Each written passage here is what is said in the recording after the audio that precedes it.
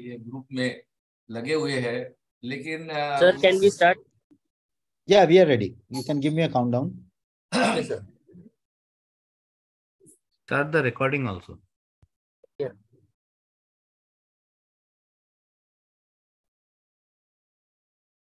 sir we are going live in five second five four three two one. Sir, we are live now.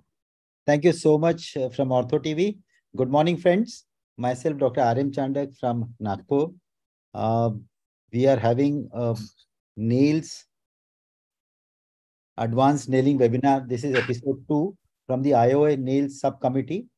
And I'm thankful to Dr. Gadegone for allowing me and myself and uh, Dr. Santosh Singh to conduct this webinar. Uh, we have a lot of uh, topics on upper limb nailing. Nailing in upper limb is an adaptation for various reasons.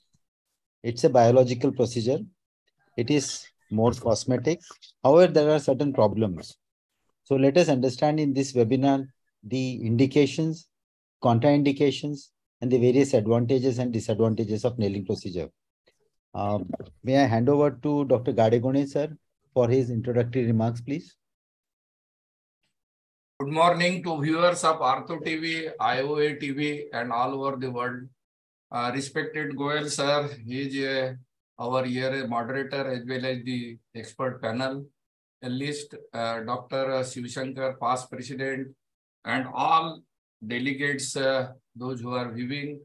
I am thankful to the IOA for giving me this opportunity, Dr. Srivastav, Dr. Ram Chaddha, and Dr. Atul Agrawal. They are heading the team and directing us for a repeated webinars on difficult nailing as I am the chairman of the committee and Dr. Shiv Shankar is our advisor. I am very thankful to the all esteemed faculties, Dr. Shailesh Pai from Bangalore, Dr. Shiv Shankar, past president from Solapur, Dr. respected Tanna sir from Mumbai, myself, Dr. Navin Thakkar from Ahmedabad, Hemant Patankar, a famous hand surgeon from Mumbai, Asim Negi, a trauma and joint replacement surgeon from Indore, and our friend Dr. R.M. Chandak from Nagpur. We are all going to discuss finer points of a nailing in a difficult situation. In a, we know that uh, in upper extremity, the gold standard in all over from clavicle to the forearm and even in the phalanxes and uh, metacarpals, the nailing is, uh, the plating is the gold standard, that is the standard teaching. But for uh, the constraint of economics as well as the biological principles and the surgery can be done at any place with a lowest cost is the nailing from clavicle to the phalanges. So we have a galaxy of experts in this field and I feel that this webinar is going to be a hallmark of a propagation of a nailing in all upper extremity fractures. There are some cross views. We do agree that all are not interested in doing nailing because of the literature support. But with this webinar, I think their ideas will be very clear. And I think this webinar will be eye-opening in the circumstances where we are working. Thank you very much, all IOA functionaries. And now I hand it over to the Dr. Chandak and Dr. respected Shiv Shankar sir and Dr. S.C. Goel sir for further proceeding. Thank you, sir. Thank you, Gadegone sir. Uh, without wasting any time, let us start with the first lecture. May I invite Dr. Shailesh Pai to give his talk on uh, nailing in complex proximal humerus fracture. Welcome, Dr. Shailesh. Thank you, sir. Respected IO dignitaries, uh, moderators, panelists, and my dear friends. So at the outset, I would like to thank the IOA committee for uh, giving me this opportunity to present my work.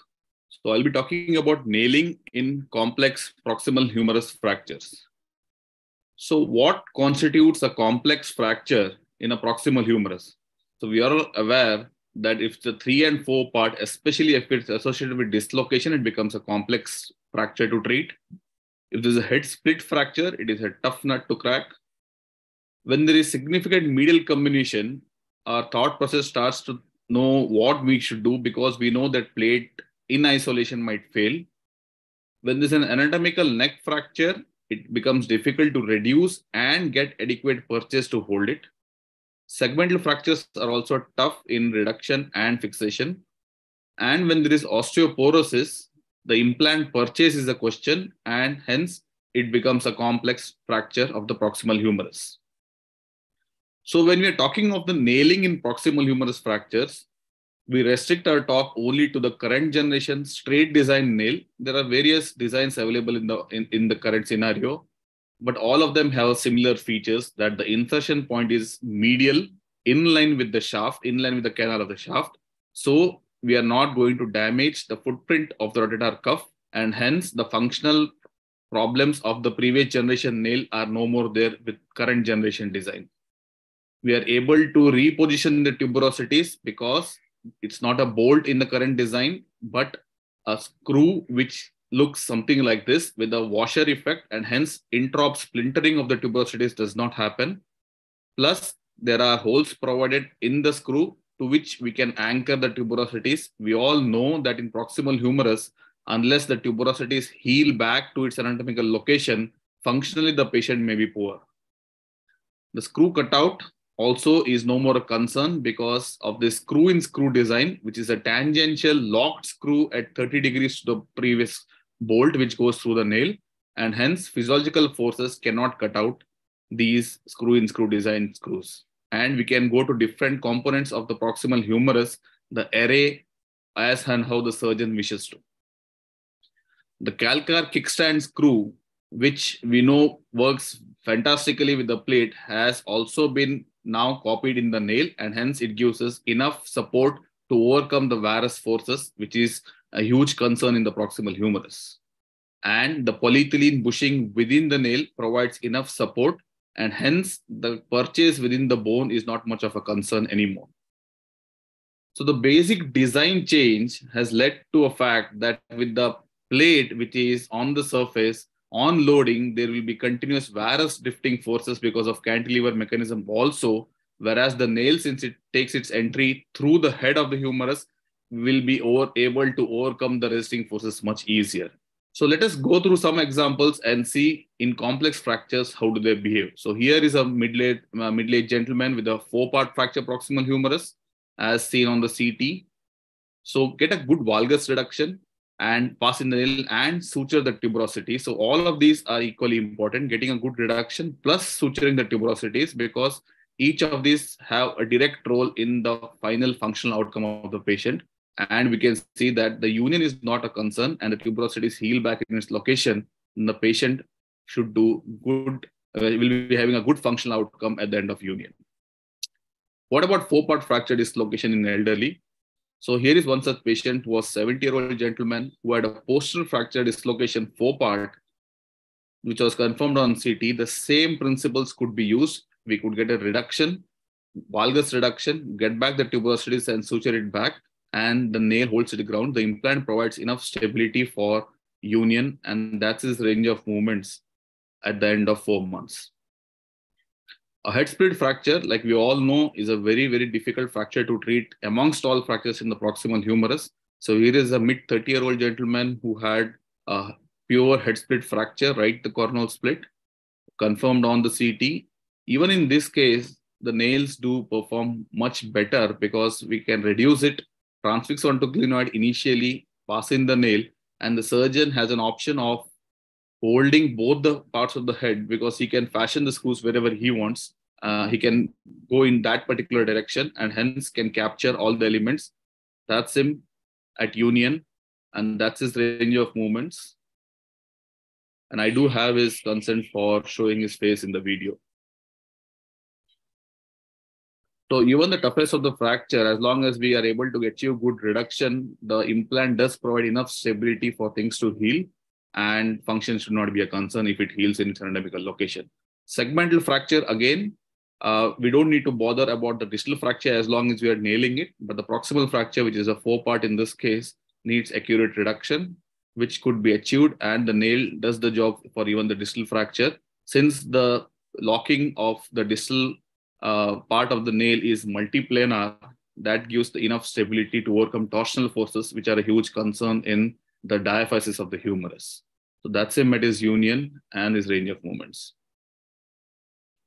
Anatom anatomical neck fracture with osteoporosis. Now here is a elderly patient, anatomical neck uh, with comminution as confirmed on the CT. Even in these cases, as long as you can get a good neck shaft angle, a good valgus reduction and a proper entry point and passing the nail, even though there is significant comminution medially and anteriorly as which was uh, seen on the CT, but these are not a concern with the nail, unlike a Philos's plate. So things go on to unite. And as we can see, there is no drift happening between what we achieved in trop versus what happens in union. Now, this is one area that we all should consider when we do a plate in the plate, although plate gives good results, but what we often see is that our immediate post-op X-ray do not look the same when we see at three months. So there will be some mild varus drift happening in all these patients. So in literature, it is about 80% of these patients, we're talking of three and four part fractures in which varus drift happens. Now these might malunite in slight varus, thereby leading to slight loss of abduction, but it does happen in 80% of the patients. Whereas with the nail, at the end of union, it's the same picture is what we see with, at what we finish intraoperatively. So that is the neck shaft angle is maintained. The varus deforming forces do not, uh, or I mean, the, the implant is able to overcome the varus deforming forces. So that's this range of movements.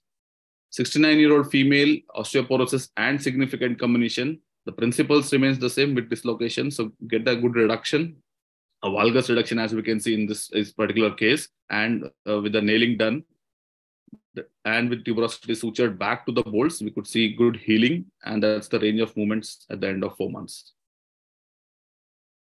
Even significantly comminuted fractures like these, which will be a very difficult proposition to do with a plate, will be much easier with a nail as long as you can get a good neck shaft angle. Now, this was an open fracture, not a bad open, but as long as you can get a good neck shaft angle and suture the tuberosities, since it's much more biological compared to a plate, the healing most almost likely will happen. And once it unites, the patient will definitely, we can expect a good functional outcome. Sometimes we could have such fractures where there is some bone loss because of an open fracture. This was a mid 50 year old lady who had an open fracture of a proximal humerus. Now, to do this with a plate is tricky because we know that plates do not tolerate bone loss. Even nails don't. But with the current generation nail design with so much extra stability being provided and tuberosity is anchored back, we could see a good healing happening. This was a at six months. Unfortunately, she did end up with AVN, but as we can see, there is no cutout or cut through of the screws. This is a two-year follow-up X-ray, and we all know that AVN in the uh, in the shoulder is not like AVN in the hip. So she will have a decent range of movement. So to summarize, Osteosynthesis of proximal humerus fracture is desirable in most cases because we could achieve good functional results and hence we should be thinking of uh, treating them with a plate or a nail. But the newer generation nails are giving way too good results and we should be considering them. Anatomical reduction with slight valgus if possible, fixation with a nail and suturing of the tuberosities will prevent most of the failures. Thank you very much. Shailesh, wonderful presentation, wonderful and mesmerizing cases and results. I want to ask you. you. one question. Yes, sir. That screw, it is a calcar screw. How often yes. a possibility of injuring axillary nerve? Uh, uh, uh, we have done a study ourselves with the South Indian uh, patients and cadavers also. So uh, there is no way we can damage the axillary nerve because it is fixed point of 7.5 centimeters. The entry point in the bone is 7.5 centimeters from the tip of the nail. And we all know that axillary nerve comes around 4.5 to 5.5 centimeters in most patients. So we have a leverage of about two centimeters on our side. So uh, we put it percutaneously in all patients and there is not a single incidence of damaging the axillary nerve. Yeah. Good morning and welcome, Tanna sir. Um, Hello. Good morning, sir. Good morning, sir. Good morning. Good morning, sir. Good morning. Tanna sir has requested that he has joined from Zimbabwe and right now the Wi-Fi connection is good. So So after, he this- after this discussion is over, then he'll be presenting. Silas, another question. Yes, sir. So you, in osteoporotic bone also, you said that the results are very good. But it Yes, is a general observation in a three-part and four-part fracture to achieve a, a overhead abduction and forward flexion is a very difficult job. What is your experience in this procedure? So with with the, this current generation design, the advantage that we have is that there is a polyethylene bushing within the nail. So when we pass in the screw, the bushing itself is giving us enough support. Now on this, the tuberosities are sutured. So healing, we all know healing is not a concern in osteoporosis. The problem was with the previous designs or the plate is the purchase of the implant within the bone. Now here, since the purchase is within the nail, and as long as the tuberosity is sutured back and it heals, uh, the patient should not be having any issues with the, any range of movements, uh, be it flexion or uh, overhead abduction also. Uh, I've shown some of the cases. I mean, at least three of my patients were above 60. Uh, one of them was 70 plus. So they did get back uh, near full range of movements, uh, thankfully, due to good reduction and the implant staying its ground. Did you ream for the diaphyseal fracture entry of the nail? For segmental fractures, yes, sir, we do uh, we do ream, but for only proximal humerus fractures, since most of these nails do not cross the isthmus, we don't uh, require to ream the canal as such, but the proximal has a entry reamer. That's that's only for the proximal part. If at all it fails, how do you remove this? Do you open? Again, uh, again, it's not it's not technically difficult. I mean, uh, fortunately, uh, we didn't see failures to remove, but there were patients who insisted on getting this removed, and we have removed two nails till date. Removal is not uh, much of a difficulty, sir, because uh, the um, the screws come out pretty easy. It just requires the proper instrumentation to get it out. And as far as the proximal part is concerned, since we we can incise the tendon and see the see the entry point, we, can, we might as well fix in a, a conical bolt to get it extract. So removal is not much of a concern. Also, sir, in case it requires to be removed. Which approach is more preferred? Uh, this uh, um, deltoid splitting or uh, anterior approach? Uh, right, sir. So this is this is the uh, anterolateral approach called the anteracromial approach. This is the approach which uh, uh, uh, shoulder surgeons use for open Bankart's repair. So it, it, it's in between deltopectoral and deltoid split. This goes along the anterior border of the acromion. So the, the, the, the deeper plane is in between the anterior and the middle fibers of the deltoid. So we are both on the top of the humerlet as well as on its side. So that way it gives us the advantage that uh, whether there's an anterior dislocation or a posterior dislocation, we can address both of either of these with using the same approach. Thank you. Thank you so much, sir. Uh, Thank you. Can can we, uh, Gadegone sir, any any other question from other faculty members? Probably he has answered all the questions. Any indication for a Philos plate in your hands? Uh, only if the canal is way too narrow that we will not be able to pass in the nail. I think that may be an indication because the advantage that it biomechanically offers post-operatively is significantly better than a plate. So as long as the surgeon can reduce it, we might as well think of nailing it because uh, the nail takes over the uh, all the loads post-operatively and helps the surgeon in maintaining the reduction that the surgeon took such care to get it in drop. So if I can't pass in the nail, that's the only indication where maybe we should start thinking of a plate. So in your hand, the philos has almost disappeared. Uh, yes, sir. I might say so. That's a very good news Alish, because I, I feel the philos, philos doesn't give you a good range of movement ultimately in a full range of movement about two thirds of the time, while the nail is likely to give you the almost a full range of movement. Exactly. sir. So the, that the, that's also a concern that Philos being a surface implant, there may be some mechanical issues uh, directly related to the implant if you do not set it very perfectly, which is actually challenging for most surgeons because all landmarks are lost in a four-part fracture. So with the nail taking its position intramedullary, there will not be any mechanical impediment at least for uh, abduction. Shailesh. Yes, I- sir. Uh, Sanjay Desai was with us and he showed innumerable cases with closed Unique, just unique. and Dr. Chandak goes on showing that J nailing. So do you make any discretion while using your nail and using those options which are far more cheaper and easy to do for an average orthopedic surgeon. I mean, technically, I mean, ki dawa hai.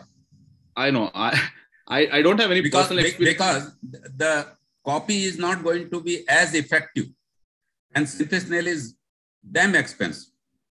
Uh, so I, I, might reserve my opinion there because uh, looking at what happened with the uh, proximal femoral nail, the copies are as good as or even sometimes better than uh, the original. So I, I would reserve my comments there. But uh, talking about J nail, I have seen Dr. Chandak uh, doing his magic there, but I don't have any personal experience to comment whether, whether uh, he, he will be a better judge to tell in which cases it might work and which uh, which are the cases he might not think about it. But as far as just unique is concerned, uh, yes, we do have some results with that. The only concern is now to get the head into position, we need to actually distract it. And that's where many surgeons feel that there may be chances that No, we are. no, no, no. Cause- Sanjay Desai showed us K wirings, innumerable K wirings for three part, up to three part. Uh, yes, sir. I mean, in very I mean- elite class of patients which he treats in city like Bombay. And very well, sir. I mean, wow. an excellent Um, function. multi- I was really multiple- No, I have also changed over to a K wire in Yeah. a three part fracture. In a four part Yes, sir. fracture is different thing. Yeah. But in a three part fracture, the K wire works equally well. Whatever the few days of immobilization which you have to do is not very Agreed, sir. significant for the last range of movement. And the function is far superior. Agreed. Uh, Pai, Dr. Ganjale from Solapur has asked, what is the diameter proximal and distal you use commonly? The proximal dia- diameter of the nail is fixed at 9.5. The distal diameter is 8 or 9. Uh, but these don't cross the isthmus. We also have a 7 nail. And currently, the Indian uh, companies' nails are starting all the way from 6. So 6, 6.5, 7, 7.5, that, that way in 0.5 millimeter increments. And the biggest advantage is you can ream because it is a straight reamer. You don't need a flexible reamer. You can ream with the solid reamer. Very true, sir. That also is a, a huge boon. Thank you very much, uh, Shailesh. Wonderful um, lecture and discussion after that. So Thank you, go on to the next lecture? That is lecture number three from Dr. Tanna sir. He'll be speaking on what happens when the nails fail for fracture humerus. So I'll be sharing his presentation.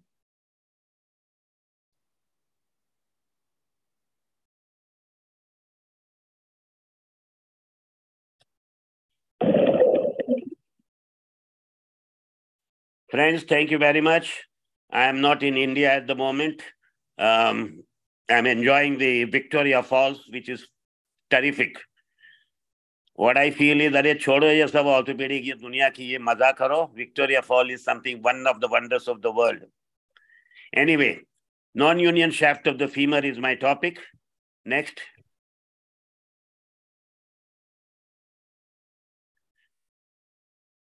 Next. Humerus non-union is very frequently seen now. Earlier, most humerus fractures were treated by plaster or hanging cast, and most ended in union with a minor malunion but excellent function. Now, since the change in lifestyle of not tolerating plaster, surgery has become a treatment of choice. Nobody is sure what to do nailing, plating, locking, or an ordinary plate. My take is if there is a fracture of the humerus which is undisplaced or minimally displaced, where the soft tissues are intact, they can be treated with the nailing without any major problem. But if the soft tissues are fully displaced, that part of the fracture is not really very good for a nailing because the nailing has a much higher non-union rate into the fully displaced fracture where the soft tissues are not uh, fully shifted.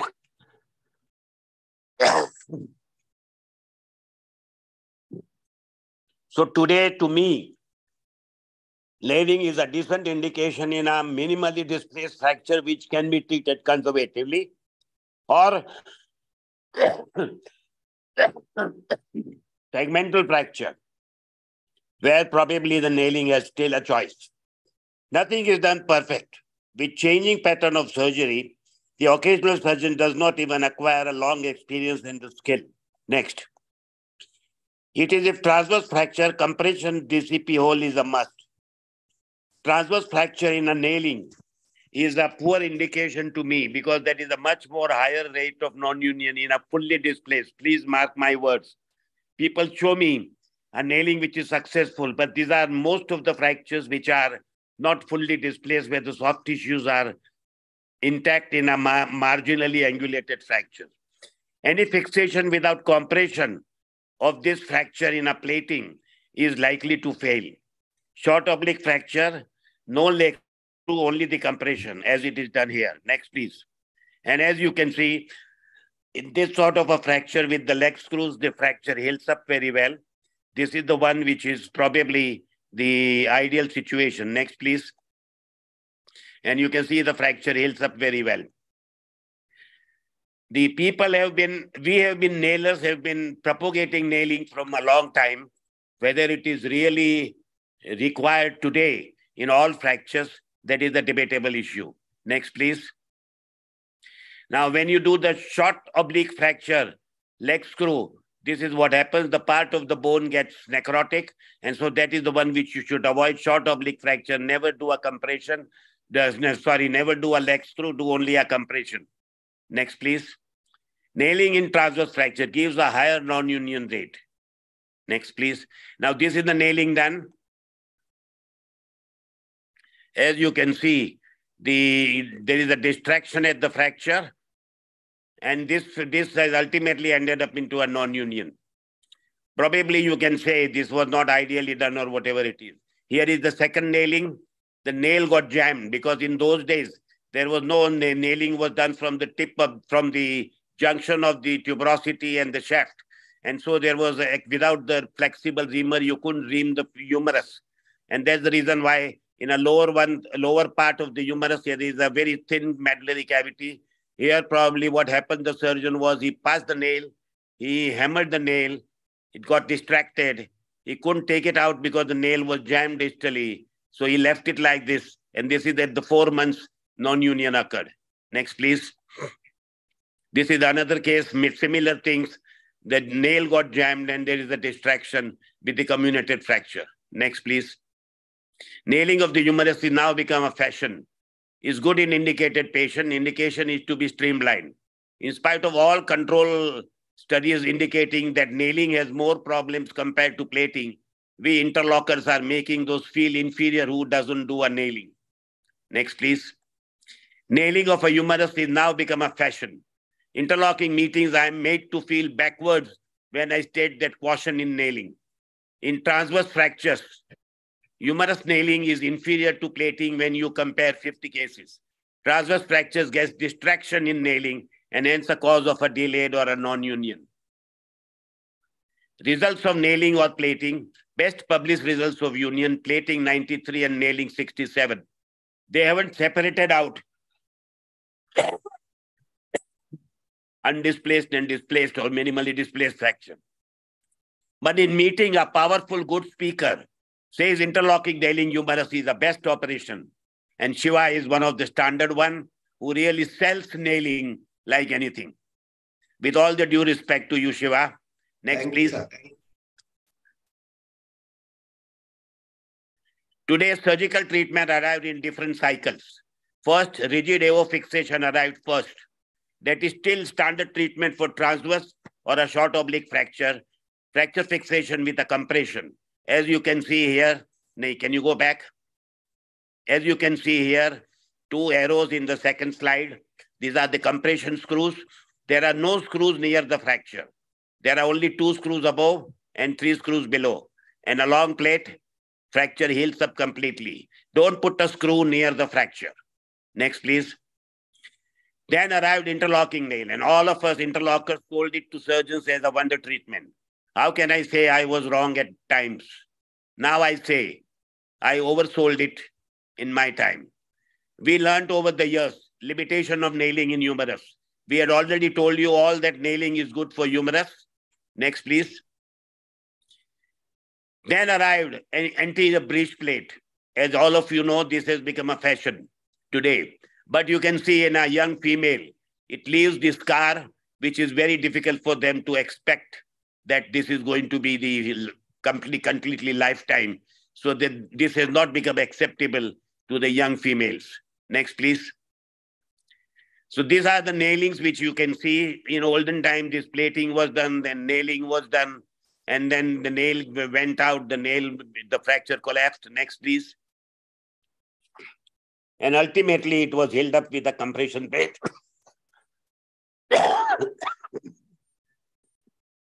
then. Um, now you can see this held up with the compression plate. So nailing is still unsure in all fractures. Here is again a nailing in the lower one third. Now you can see in lower one third there is hardly any hold of the fragment. Lower down.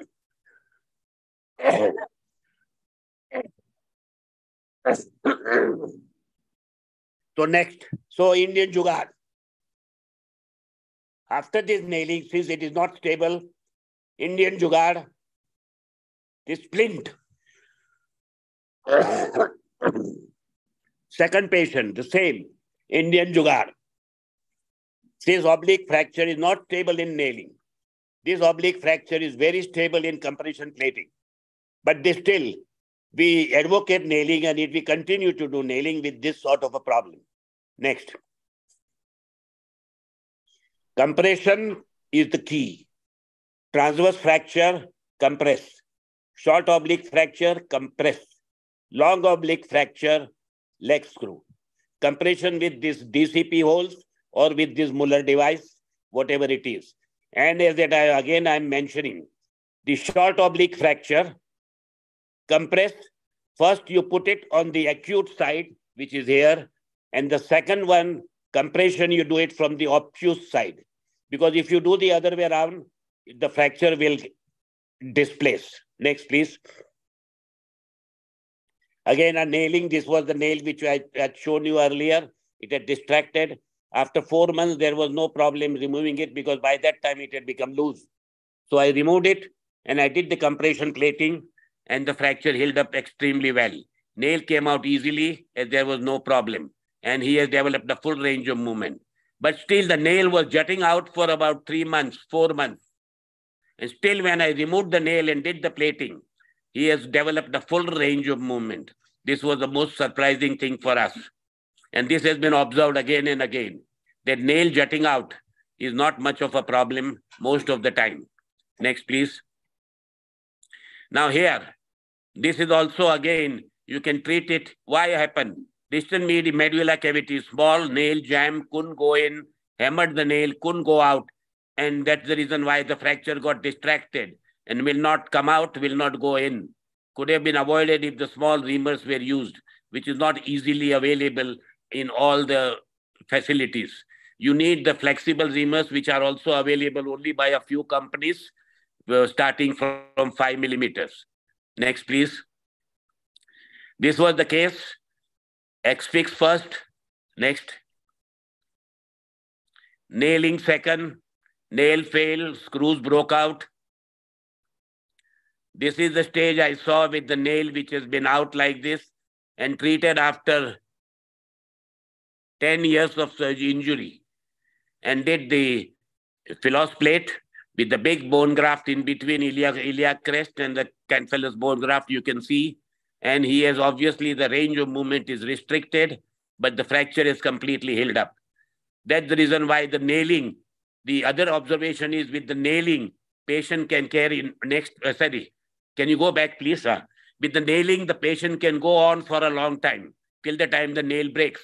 If the nail doesn't break, patient can still functional. While the plating, the plating doesn't hold on as much. The plate will break down, so he'll come for surgery much more faster. And with the nailing, when he carries on, he loses a lot of bone at the fracture site because of the uh, movement which is occurring at the fracture site. So that's the reason why quite often you will need a fibula or a massive iliac crest bone graft. Next, please. This is again 65 year old, five years of fracture, four surgeries, nailing, plating, X-fix and everything, infection. So infection is controlled. And this is the stage I came to know, to see this patient. Five years after the fracture. Again, you can see in such a fracture, intramedullary fibula is this situation. I take half the fibula because in humerus you can't do a full fibula. So half the fibula, long philos, cancellous bone graft, intramedullary fibula, long plate and cancellous bone graft. Next, please. And then the fracture heals up. 15 months after the fracture, fracture is healed up completely well. And his range of movement is, this is the range of movement. So even after such a long time, the game is not lost. You can always do this and you will be able to have a decent range of movement. you know. Movement will be lost uh, in a final range of movement. But you can see external rotation is also good. External rotation. Next. Now here was the fracture. The patient surgeon did a good job. Good lag screw and a long plate. But that long plate was a thin little plate. That's not good enough to really avoid the stress at the fracture. So this was a thin plate. You can see this was a recon plate. Next. It broke down. So all it needed was a long, thick plate and the fracture heals up. Heal in three months' time. The original treatment was okay. Small recon plate, too thin and hence bent. Normal plate would have solved this problem. Next. Now here is the plating, defective plating. Screw is in the fracture. Only two screws are above. The plate should have been much longer and this could have been compressed or a lag screw. But this is the one which is a bad plating which is done. Next, please. Normal thick plate, one screw in the fracture and two screws proximally. These two screws too near the fracture. No lag. So this is the one which is conserved and ended up into non-union. My, my take is, can you go back one? My take is conservative treatment of the humerus again is a good treatment when there is not a fully displaced fracture because the soft tissue is very well preserved so you can reduce it properly soft tissues play a very important part in healing that is the reason why not fully displaced but angulated fractures do well in conservative treatment and also in nailing now this fracture ended up into non-union next please so long fracture, the long lag screw, as you can see, and a long plate with four screws distally, three screws proximally, and a lag screw, and the fracture healed up completely well. So non-union, whatever it is, is not an issue. You will be able to get the fracture healed up majority of the times with this. I had seen the fracture after 12 years of non-union. Still, you can get a union. I think it is there next. Next, please. Now, this is the lag screw which you have to do it. Most, I'm putting it again and again. The lag screw, most of the people don't do it properly. You will have to explore both the ends of the fracture in order to do the 100% reduction. And then proximal first screw is a 3.5, wider than the threads of the screw. and then uh, So that the that is the glide hole.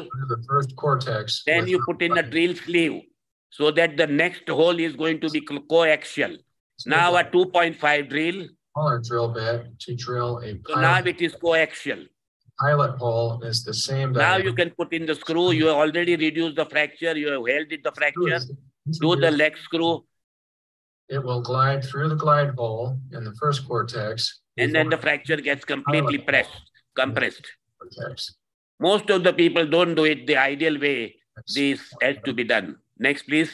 Screw, press it, Because if you don't do this, you first put in a big screw. You first put in a 2.5 drill and then put in a 3.5 drill. Next. Then you put in a 3.5 drill. Then the two holes are not coaxial. As you can see, this is what has happened. The fracture which is reduced, you put in a screw. Next, please. The screw gets oblique. It has a hole in the proximal fragment also, which it should not have.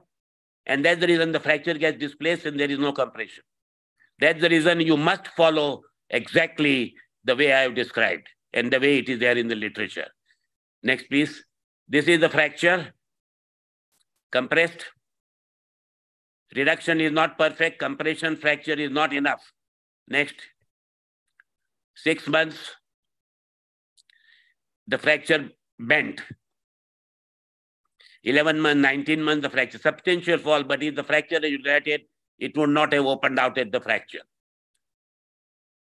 Again, replating with leaving the fracture area completely without any screws, but primary union due to compression. Five months replating, compression, grafting needed or not, that was debatable, but I grafted and got a perfect healing done.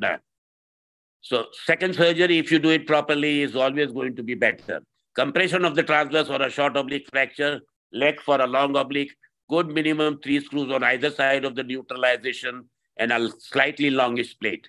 Now this is after five surgeries, infection, implant removed two years, no infection. 70 year old severe porotic. She was denied surgery. I had operated on the leg first and she was in the hospital where I saw this. Conventional plate would have had a poor hold on this. Next, please. Hello. So excise the ends which are pencil thin. Take a fibula without periosteum. It is easier retrieval without then with the periosteum. Dilate the humeral medullary cavity mainly to measure the cavity. Confirm it is movable in the humerus, medullary cavity on both sides of the fracture easily. Keep large autograft ready from the iliac crest. Giving finishing touches, reconfirm graft is moving in the canal. Push it up all the way proximally, reduce the fracture, distract, hold fibula end, and slowly push it distally. Compress the fracture maximally, load cancellation, bone graft singling. But when you compress, your one screw has to be outside the fibula. Because if it is inside the fibula, then it will not compress. Both the screws are inside the fibula, it will not compress.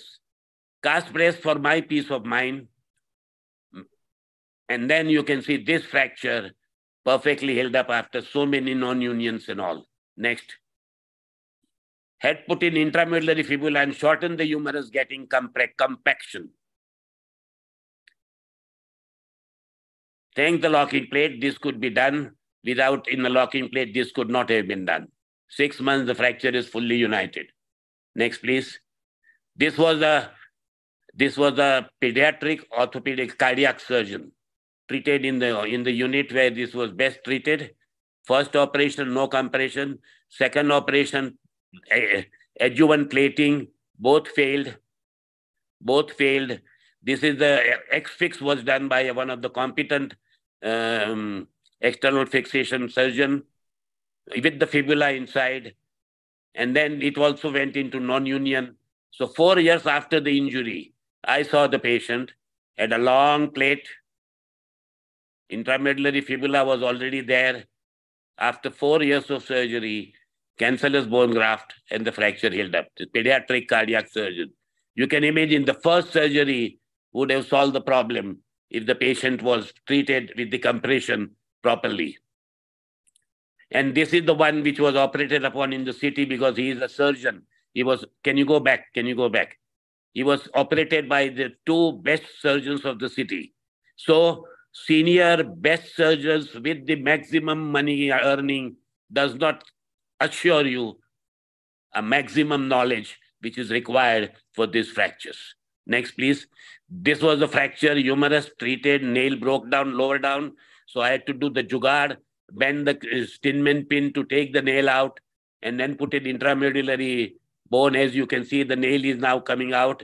I had put in the whole here, and then the fracture heals up completely well. As you can see it very well. This was again a nail, non-union. The, the surgeon, uh, yeah, there you can see there is a lysis at the fracture. Same surgeon, next please. After six months, he did this small little piddly little plate. And then I went, I had came into the picture, I did this intramedullary fibula and a long plate. Four months after that, you can see he has a full range of movement. And still after all these things, patient has got an excellent range of movement, nailing, plating, non-union. Four years have passed by, till he has a good range of movement. So don't give up. Conclusion, shaft humerus can be very nasty.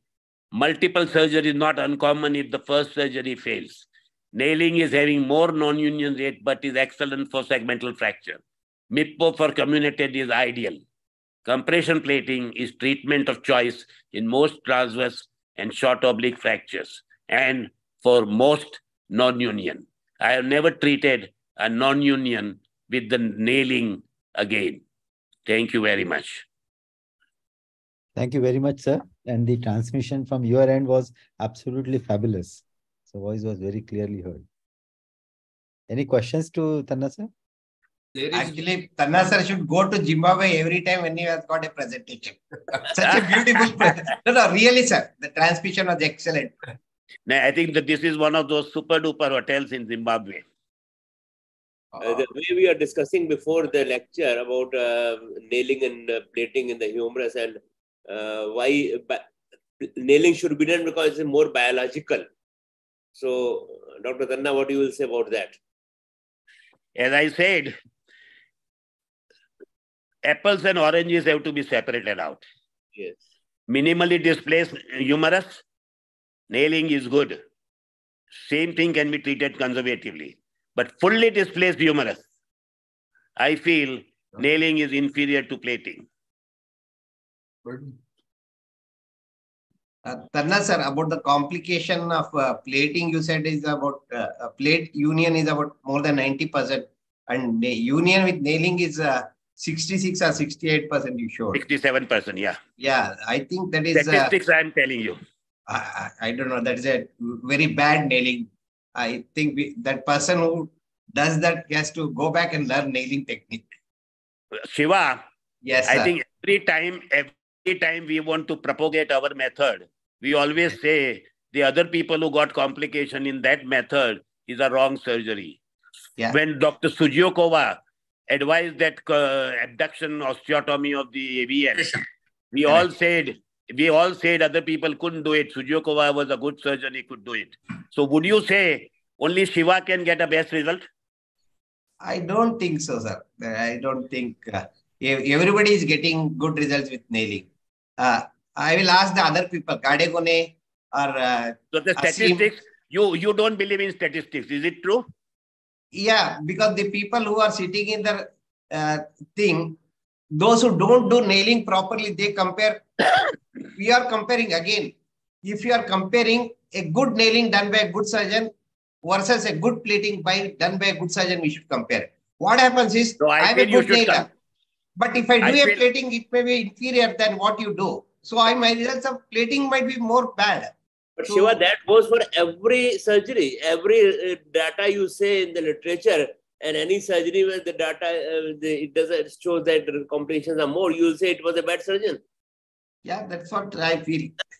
because I don't think it is. Yeah, Shiva, again, I think, Shiva, when you had presented yes, on a nailing, I was there onto the plating side and I, Yeah, I had discussed this. Your Yes. every case was a Yes. minimally displaced humerus. And that is the one where the soft tissues are intact and that will 100% do very well. So I think unless you open out oranges and apples separately, you do for a fully displaced humerus, nailing, transverse fracture, and if succeeds 90% of the time, it's a good operation. that's correct. So in non-union case, what about double plating? Um, Satish, I don't think you de- you need a double plating. You need a long plate.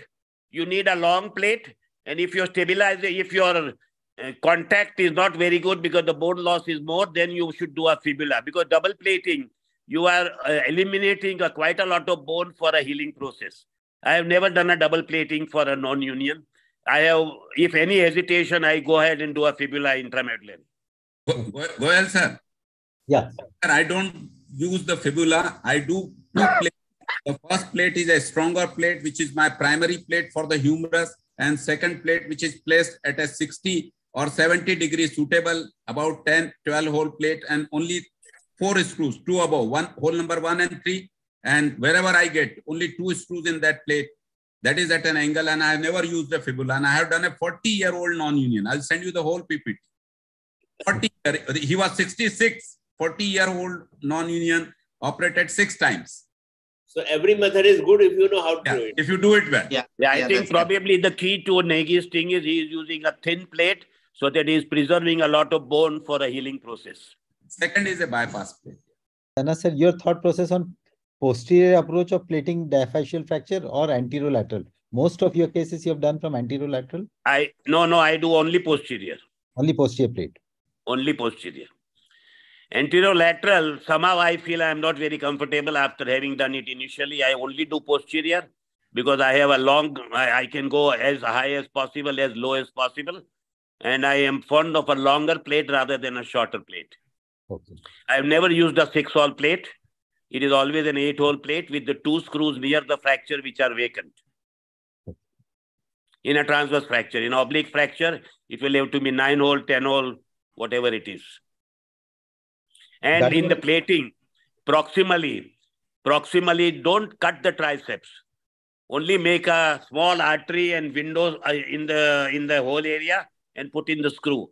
Because if you cut the triceps, you will probably damage the nerve supply partially to that. And that's the reason why it is much easier to go ahead, fill the hole, and only with the artery open up the hole and put in the screws. Even the radial now is not uh, put in a loop. It is just made a tunnel. Yeah, yeah. And only tunnel, plate is tunneled beneath that. And the radial nerve is It kept with the soft tissue. Once you know the radial nerve, you go underneath, and with the soft tissue thing, it has been kept there. Right. With this, uh, thank you very much, sir. With this, we move on to the next lecture from Sir, Dr. thank you very much from Ja- for Thank you, joining sir. from Zimbabwe. And uh, we are grateful to you that uh, on a topic like this, you are the best person. And I actually conveyed to you that we are not getting a speaker uh, for this topic. Thank you for invitation, uh, for your uh, yeah, our uh, acceptance of invitation. Thank you very much. Thank you. Bye bye. Effort. Uh, we invite learn from Yes, them. sir, for his talk on complex humerus nailing for segmental and distal humerus, various tips and tricks.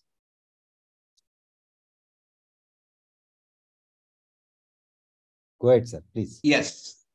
So I'll be talking about uh, segmental and extreme humeral uh, fractures, how nailing can be done.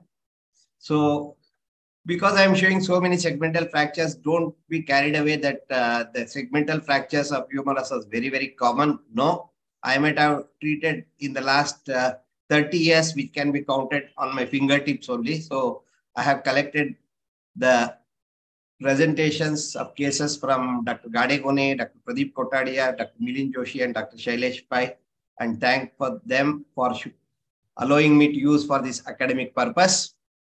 Coming to the segmental fractures of the humerus, they are due to high energy trauma and instability is very, very common and uh, neurovascular insult is also very common.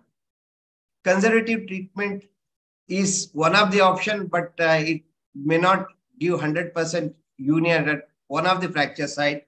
So it is not, that's the reason why we don't advocate conservative treatment.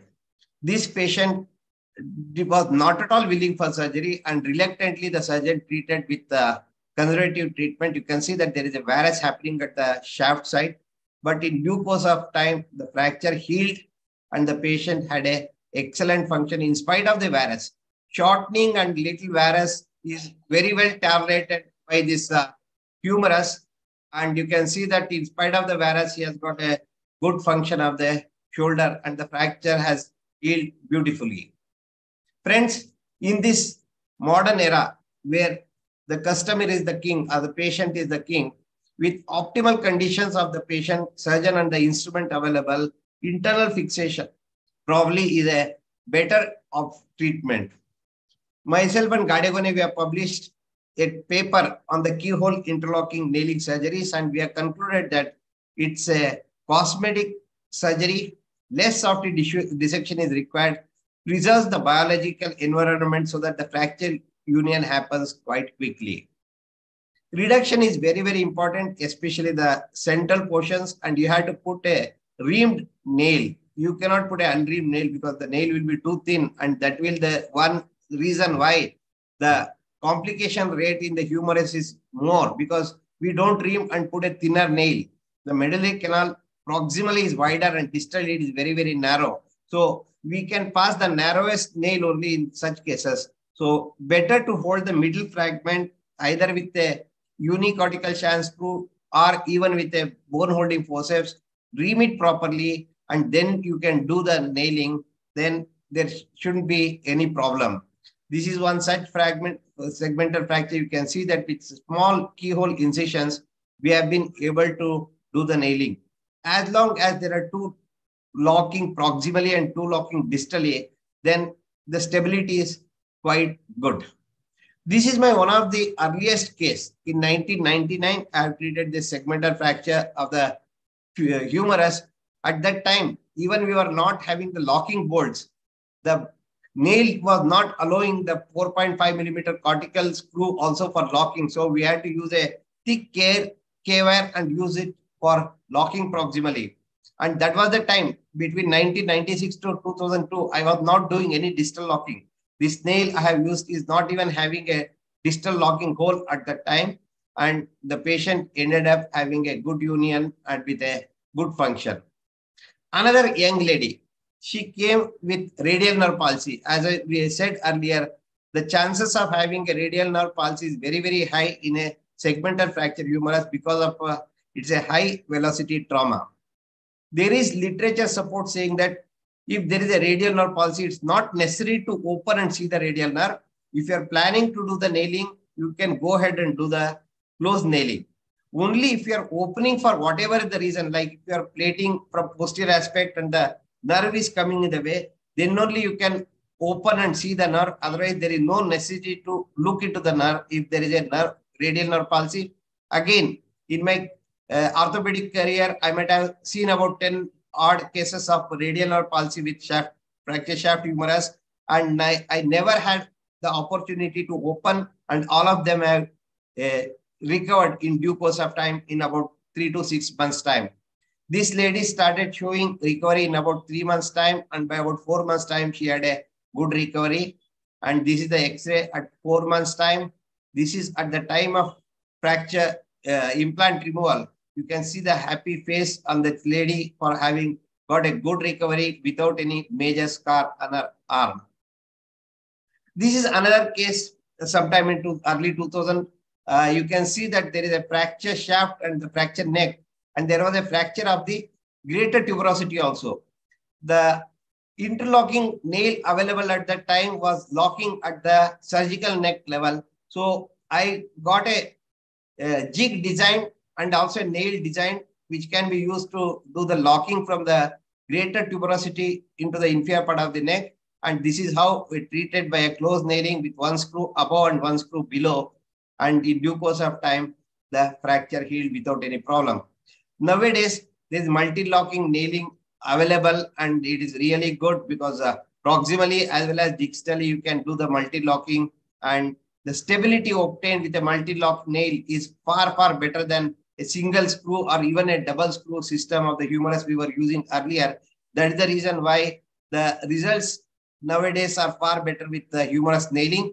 And even for a regular shaft fracture of the humerus, nowadays I prefer to use a proximal multi-lock humerus uh, rather than using a simple one or two locking system available. This slide already Dr. Shailesh Pai has shown. Uh, proximally, you can see that the head is uh, fractured in three parts and there was a shaft fracture. It has been treated with a multi-lock nail. As long as you get good abduction or valgus of the proximal fragment, the main, the kickstand screw prevents any varus collapse happening. The screw-in screw also prevents the varus collapse happening and the patient will have excellent outcome. Another similar fracture, a segmental fracture, again, the head fragment you can see uh, you open up with the uh, anterolateral approach of the shoulder and put the nail from the top from the articular surface and then you align the proximal fragment to the distal fragment to the nail and then you expect a, a good result in all these cases like this. So this is the excellent outcome at the end of the treatment. Then this is a I am not totally against uh, plating. Plating, if it is done, probably gives good result. But unfortunately, plating requires a lot of exposure, the scar, especially in young ladies. And that they are the reasons why I prefer to do nailing. And this is the same patient with a excellent plating done. You can see the excellent result could be obtained. Nailing is blamed only because of the bad nailing. this is a case of a bad nailing being done, which was treated with again plating. And you can see that uh, here in this case, you can see the fracture. And plating has been done and the end result. Can you listen to me, Rajan Chandak? Hello? Yes, Yeah, sir. are- Yes, sir. You are audible, sir. Yeah, we are all audible. Yeah, we are Okay. audible. Because there was Yeah, no, we- there was no sound. I thought whether I have, I have gone no, off no, the air. no. Okay. No, we are all mesmerized, Shiva. Okay, fine. Thank you. So Any- this is the same patient where the poor nailing was done, which was treated with a uh, plating. Patient uh, ended up having a excellent outcome. Coming to the next part of my talk, the extreme nailing. What I'm talking extreme nailing is the very distal fractures of the humerus. Yes, as long as you are able to put one screw, definitely these fractures can be treated in this fashion. You can see a segmental fracture with an extreme distal fracture. This is a case of 1999 when I was not doing any distal locking because the nail I was using, I thought that the humerus requires dynamization. So I was never doing distal locking. So whatever the hole was there in the distal part of the nail, I eliminated at that time, sometime between 96 to 2002.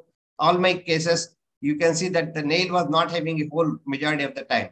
So when this patient is third, second or third year, engineer student came to me, he wanted to write a paper on the next day. So what I did was I inserted a nail from the top and as the nail was very uh, rotationally unstable in the distal fragment, I used the X-Fix. The proximal shank pin has gone through the locking hole in the nail. And this is a hybrid case I have done. And I have done very few number of cases. Don't think that uh, uh, since I'm showing three, four cases, don't think that I do left and right. Very selective cases you can do this hybrid fixation. The, basically, I'm preventing the rotation and also I'm achieving some compression with the external fixator distally. And this patient went, I discharged him on the next day itself. He went back, gave this uh, examination, and he is now a working engineer. So this is after the fixator has been removed, patient had an excellent outcome. Another comminuted fracture, again, you can see I have passed nail where I'm showing with the finger and I have added a hybrid external fixator and the patient really do, did doing good. Unfortunately, as you can see, the distal humerus, the lateral condyle is wider. So the nail has a tendency to go towards lateral side. And few of my cases, there was a varus. Though varus is not that significant in the humerus, but I wanted to avoid it. So nowadays, what I do is I pass the nail through the olecranon fossa. You can see that I have cleared the olecranon fossa. I have passed the nail through that and have done the distal locking and the alignment is far, far better in this case.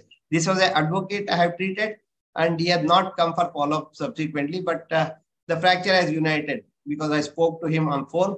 Here you can see that I'm passing a straight rigid reamer over a plain guide wire and then I'm trying to open up the olecranon fossa and there I have passed the nail.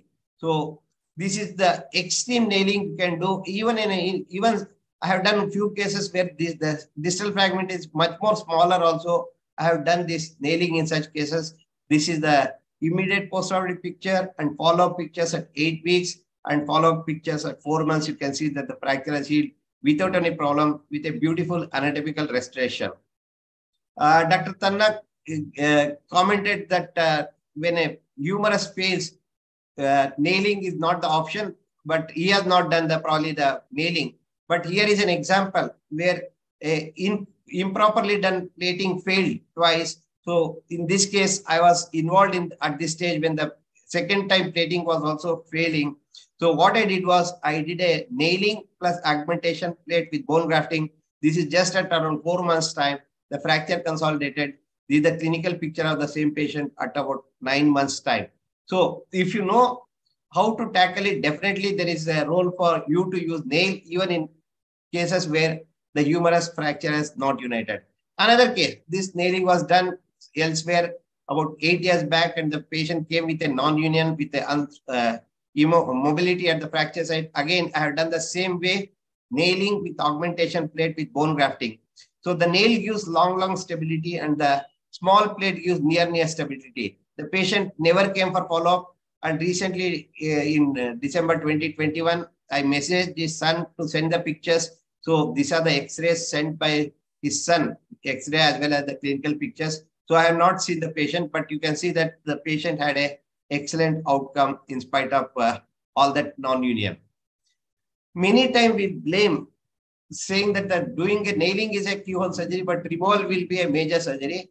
But if you use the C-arm properly, judiciously, you enter under the C-arm control through the earlier scar into the nail and insert the conical board for extraction.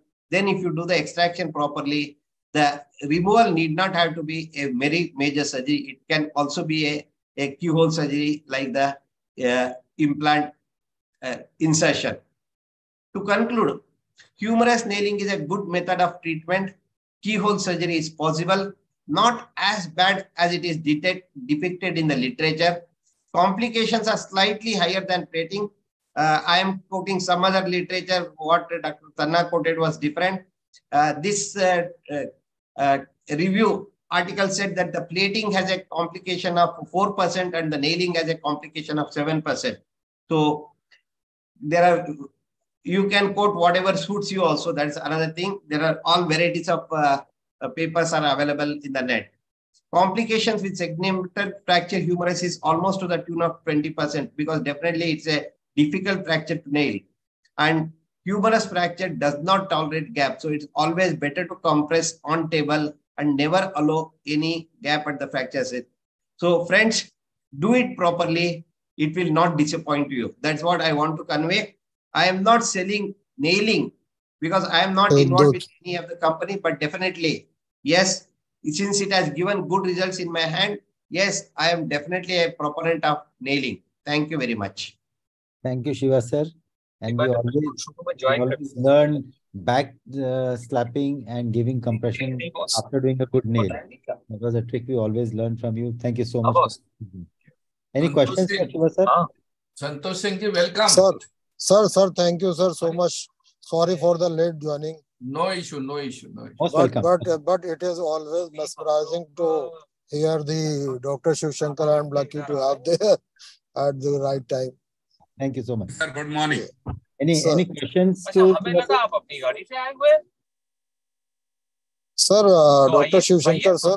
Yes. uh, When you when you prefer in the distal uh, humerus fracture, the nailing or plating, is there any criteria for that one or uh, uh, voluntary you to do the same thing? No, no, it doesn't mean that I only do plating and nailing in all these cases. Yes, I do prefer to use with the availability of uh, locking plate, the curved one, which sits on the lateral condyle. Definitely, Yeah. yes, I'm using more of them rather than the hybrid external fixation with the nailing. So, sir, is, is there any uh, uh, absolute indication for the nailing in that cases? Absolute indication for nailing it's not there. Everything is whatever if you feel that you are able you are able to do it then you can do it. That's what i say. There is nothing like absolute indication. When you see an x-ray whatever comes to your mind if you think Sir. that it is a good case for plating then go ahead and do plating. Just because somebody says nailing is a good option don't do it. Whatever comes to your mind when you see the x-ray is the treatment best treatment in your hand. That's what Sir. i always tell. So Thank you so much, sir. So the indication depends on giving back function to patient and whatever his desirement is. Uh, After discussing this, so choice of a plate and a nail all depends on a lot of these factors. Thank you very much, sir. Uh, after this, Dr. Navin Thakkar, can you, um, Hello. Navin, can you hear us? So he is not here. No, he is there. He joined. joined, he joined, he I, has joined. I, I'm here. I'm here. I'm here, Ah, sir. okay, okay. Hello, So- sir. Morning, Navin bhai. Yeah, I'll, in- I'll invite Navin for uh, presenting his topic. Navin, is this fine for you? Yeah, yeah, yeah. No problem, sir. No problem, sir. Uh, but in between, you will have to stop the video. Sorry, because I am I am I am traveling here at the No, no, no problem. I'll, I'll do that. So this is, You stop it. You stop before that. Before that. Ah, this is the fracture. This is regarding the flexible nailing uh, possibility. Huh? This is one of the possibility. Here was the fracture of lower third. with the butterfly fragment and very difficult to plate it. You have to use extraarticular plate and uh, you have to open up completely. But another way of doing this possibility of passing a flexible nail from the lateral condyle and try to get the stability.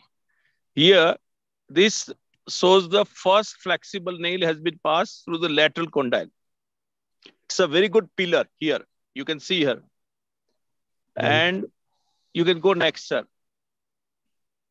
What we do is we are doing multiple flexible nailing. Now we have changed to flexible nail just to get it reduced, then put an anterior bridge plate. But previously, No. in certain cases, we were doing endless supply of. you are power you are change it you are change it sir You- you Yeah, change it I- I you change it And it's easier than you might Yeah, yeah, think. yeah.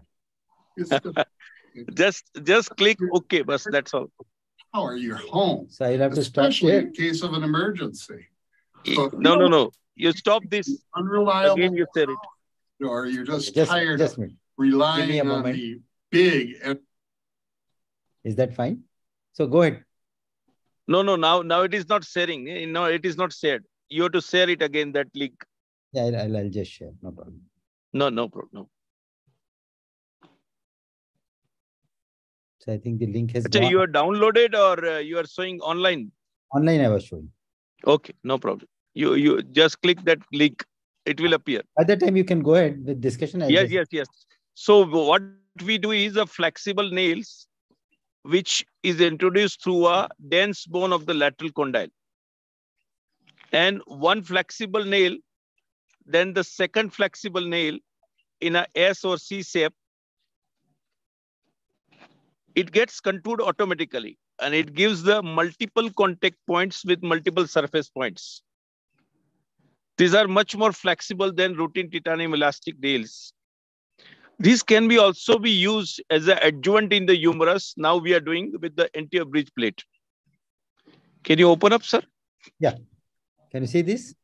No, no, you are not said it. You you you you are seeing yourself in the screen, but uh, everybody is not seeing. Okay, just So share. first you share it, uh, desktop, and then click that link in the email. Yeah. Now you can make it full. Able to see that now? Uh, you make it full. Yeah. Okay. Lovely. Thank you, sir. Yeah. So second nail you can see here. And the third nail. AP and the lateral view. And this flexible nail goes in the different direction in the humerus in the upper part and gives stability. Yes, the third nail, I think. So at this point, many, many nails just try to come out of the fracture gap and it becomes. Yes, very- yes, yes. At that time, you have to take care of the reduction. And once it is aligned very well, and you have to make a different curvature at the tip. If you feel that it is coming out from lateral side, then you have to make a slightly uh, bend the tip on the middle side. Same way in the anterior and posterior. So it is uh, taking away the different quadrants, different points in both the planes. Okay. Some of the nails may have an anterior bend. Some of the may, uh, nails may have a posterior bend. Some of the nails may have a medial bend. Some of the nail may have a lateral bend at the tip. So you have to keep on playing with the curvature and bending of the nails. Yes, yes, yes, yes. And- but but the rest of the part in the shaft, it takes automatically the uh, the, the shape of the shaft. And these nails all are passed from the lateral side only. Huh, from the lateral side only, not on the middle side. Because it is a middle side, again, there will be ulna now. So you have to explore completely. Here it is a very small incision. You will see that clinical picture also. This is the lateral view. yeah. Huh, this is the picture of clinical. This is the incision where the lateral condyle, we have made a, uh, with the owl, we make a hole there and guide in the lateral condyle when it opens in the canal. And you can see here, there is a multiple contact and multiple surface contact. Multiple plane. So multi-plane fixation is there. Right. Such a lower fracture, we feel that it may not get united. And yes, this is the TV anchor. TV9 anchor. And you can see after removal, what is the shape? It is not the same shape which when it was introduced. This is after removal. So it takes the safe. very short uh, video was there. These nails we are using as an adjuvant for anterior bridge plate. When there is a lower third or a higher fracture, then these nails give the reduction for the surgeon. And then you can, over that, you can have a MIPO plate. Okay. Gadegone sir, what is your choice of fixation for this distal third humerus when there is a comminuted piece, very classical third piece is there in the distal third? So your choice? Inter, interfract compression and uh, long plate, posterior lateral plate. So you'll prefer a Yes. long. Ah. Negi, what is your choice for this difficult Plate. zone? Same. Same as Dr. Gadegone. Okay, plate you will prefer rather than nailing procedure. But I do, I do the Navin Thakkar's method quite often. So you also prefer condylocephalic nail as well. Yes, So yes, What yes. patient you prefer a plate fixation and what patient you prefer a nail fixation? Depends on uh, patient's requirement, choice or your choice. Garib Das patient, I do with flexible nailing. And uh, when a very good patient and good quality, I do plating. Okay, that is your differentiation. No confusion. Okay. Navin by I get the impression that these nails are different than uh, TENS nails, which are Yes, yes. Lit- uh, it's the flexibility is different. It is three times more flexible, and the strength is the same as the titanium elastic nails. I'll request So all the get- panelists to please open up their uh, videos. How do we get? Yes, still it is uh, biomechanical testing stage is not still over. It's not commercially available still Okay. because we have to make the metal like that.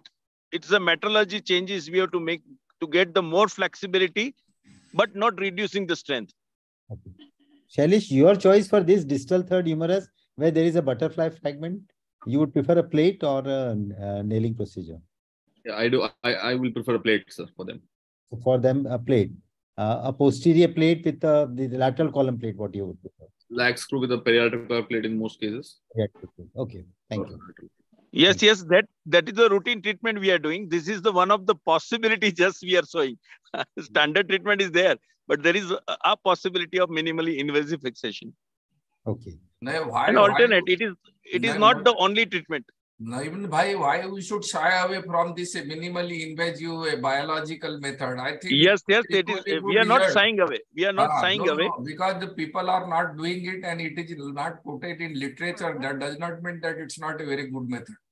Just like radius ulnar nail, radius ulnar nail, people will combat like anything that it is an intra-articular and you have to do plating only because AO says that it is to do- plating should be done. Dr. D.D. Tanna sir presented in Patna and somebody argued that, uh, sir, this is the wrong method. Only the plating should be done. AO recommends only plating. I, I think uh, uh, Dr. Tanna sir is there or not. I, I was there uh, in that uh, lecture. So that is always a controversial thing, whether to use a nail or a plate. It depends. Whatever you give the patient uh, function back and what he desires, I think that is where we have to choose. So after this uh, wonderful presentation by Dr. Navin Thakkar, we go ahead to presentation by Dr. Uh, Gadegone sir. And I would uh, uh, request Dr. Gadegone to present your talk on fracture both bone forearm. There is very few literature on nails, authentic literature about nailing in forearm fractures. Um, can you go ahead, please? So good morning, Dr. Das. everybody. And Chandak, sir, it's a most controversial topic, and I will try to um, uh, my I express my views regarding the nailing adult forearm fracture. So Chandak sir and Please go all the, uh, the, the the faculty members here, to tell you very frankly, majority of them they are doing nailing, but they are very shy of projecting their work that the forearm nailing they work. It's because, as you said, that the literature quotes that the plating is the gold standard, and therefore uh, we tend to believe that plating is the only treatment for forearm fractures. So begin with this: a nailing in adult forearm fractures crux, the restoration of the radial bow is the important in the reconstitution of normal architecture of the forearm and in the restoration of rotation and grip strength. Hence, non-operative treatment is not advocated. Treatment options remains intramedullary nailing and plate osteosynthesis. Literature says fracture of the forearm should be treated as an intra-articular fracture. Most accepted method is the open reduction and internal fixation by plate. Cross view, plate and screw fixation, extensive surgical exposure and periosteal stripping, compromise vascular supply, increase operative morbidity, infection and refracture after removal of plate is the common occurrence in Indian scenario where worker working on a very compromised situation, plate quality is not good and surgical environment is also not conducive for a very exposed uh, bone for a very long time. So in the history of an alternative method of intramedullary fixation in 40s and 50s, diaphyseal forearm nailing with K-wire small raspin yielded very poor result due to lack of stable fixation. The first oversized straight square shaped rim nail was developed by Street in 1954 and restoration of radial bow was introduced by Sage in 1959 with the development of pre-bent nail system and in pioneer in India, A.K. Talwalkar Mumbai designed and propagated a square nail and he had shown that the open reduction and internal fixation with compression plate is a gold standard 98% union rate, but with the nailing, it is 92% union rates, very, very, it's only 6% uh, difference but it's a minimal invasive surgery. This is one of the example. You can see a good union after the fracture both bone forearm with the Talwalkar nail. Marek and Talwalkar achieved 100%. Khare et al. showed union rate 95%. Moda et al. observed 90%. The average period of POP mobilization was six weeks. But there are pitfalls of unlocked nail. A straight rigid nail could not restore the radial bow and thin nail permits rotatory and substantial lateral motion at the fracture side. Hence, non-union, malunion, infection, nerve palsy, joint stiffness, and jamming of the nail and splitting of the shaft, they are all reported complications after nailing. But the most important complication is breaking up with breakage of a thin nail, implant migration before union, and painful prominent hardware and ulnar bursitis. So with the newer nails, interlocking capability and enhanced anti-rotational stability, literature reported their union rate is as equal as the plating and there is a distinct advantage prevent shortening in metaphyseal, comminuted, and segmental diaphyseal fractions of the forearm. So this year the literature also says that the two fixation methods yield similar results in the terms of functional healing and patient satisfaction in the management of adult forearm fractures. Interlock nailing isn't technically demanding procedure and probably it's not very available in the Indian market. And when you do a proximal locking, there is always a chance of injuring the posterior interosseous nerve. So therefore, I designed a new concept in the treatment of the forearm fracture with the screw intramedullary nail. This paper is already published in Indian Journal of Orthopedic a biological method of forearm fracture by screw intramedullary nail. The results are compared to the plating. You also make your choice for nailing in the next day today itself. I assure you, you shall never regret. The screw nail or Thelan nail available in diameter of 2, 2.53 mm, variable length, titanium or steel, a threaded head at the end of the nail self-cutting thread to be screwed with the screwdriver. Screw head is placed at the end of the bone to prevent migration. And it is an elastic nail rigid enough to withstand the torsional, rotational, angular forces, and it finally sits back, springs back to prevent uh, to achieve the radial bone. So this is an example of restoration of radial bow by IM nail. So there is only a one uh, sentence it is written that you cannot achieve a radial bow by nailing, but you can see if you use the use of the principles of elastic nailing and you will be able to restore the radial bow. So how I had do it? Bowing of the radius can be achieved by proper contouring of the nail. The insertion should firmly grab the nail in order to control the insertion and nail it all. And in ulna, I mostly do a mm, reamed nailing because thick reamed nail gives a better stability. This is manual traction or you can use a ready-made distractor of a forearm so that the reduction can be achieved.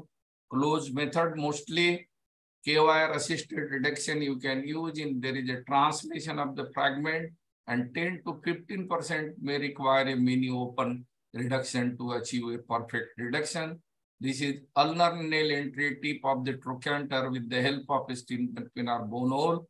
And then you have to increase. And this is the video. You can see how I do it. And you can see this is the proximal entry and then widening of the entry with the straight hole. And then you have to do a, a reaming of the canal is the most important because it helps in giving you a, a very press fit nail inside and K-wire assisted reduction. We have to achieve the reduction. It helps that uh, reaming in the reduction also. So these are the all you have to insert the nail and then last we have to screw threads are there in the metaphysis and it achieves the bow of the bone because of the elasticity and it fits into the metaphysis. And in the radius nail, identification of the entry point with the K-wire, window through the radial styloid between the tendon of the extensor carpi radialis, longus and extensor pollicis brevis. This is a bare area. Some arterial uh, tributaries are sometimes injured, but we can spare the superior special radial nerve, blunt dissection, and then with this you give a small incision and then uh, bone hole is put inside the radial styloid process. The entry point is uh, uh, entry point is uh, dilated. This is the most important step. And then pass a nail. Uh, these are all images. You can do a reaming sometime if it is possible. It is possible to do a reaming also. And uh, because the most important is the negotiation through the radial growth, some bend is given. And as soon as you go into the distal fragment, this is tricky. And once that is a reduction achieved, the radial bow automatically will come. The nail was advanced with a smooth oscillating movement until the tip reaches to the proximal fragment of the metaphysis and some light blow of hammers are required. And you can see here, this is how it is, a K-wire assisted stabilization and putting the nail inside.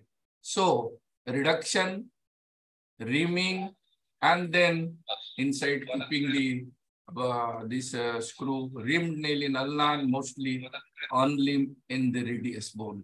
So in nutshell procedure, whichever the bone is first uh, gives a good reduction on radiological image, nail that first.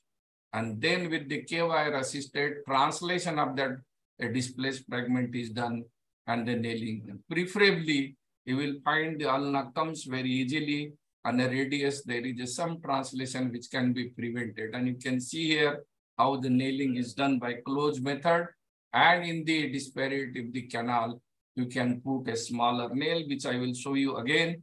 And traction is nail forwarded and you have to compress so that there should not be any distraction. And the nail screw is fitted into the metaphysis.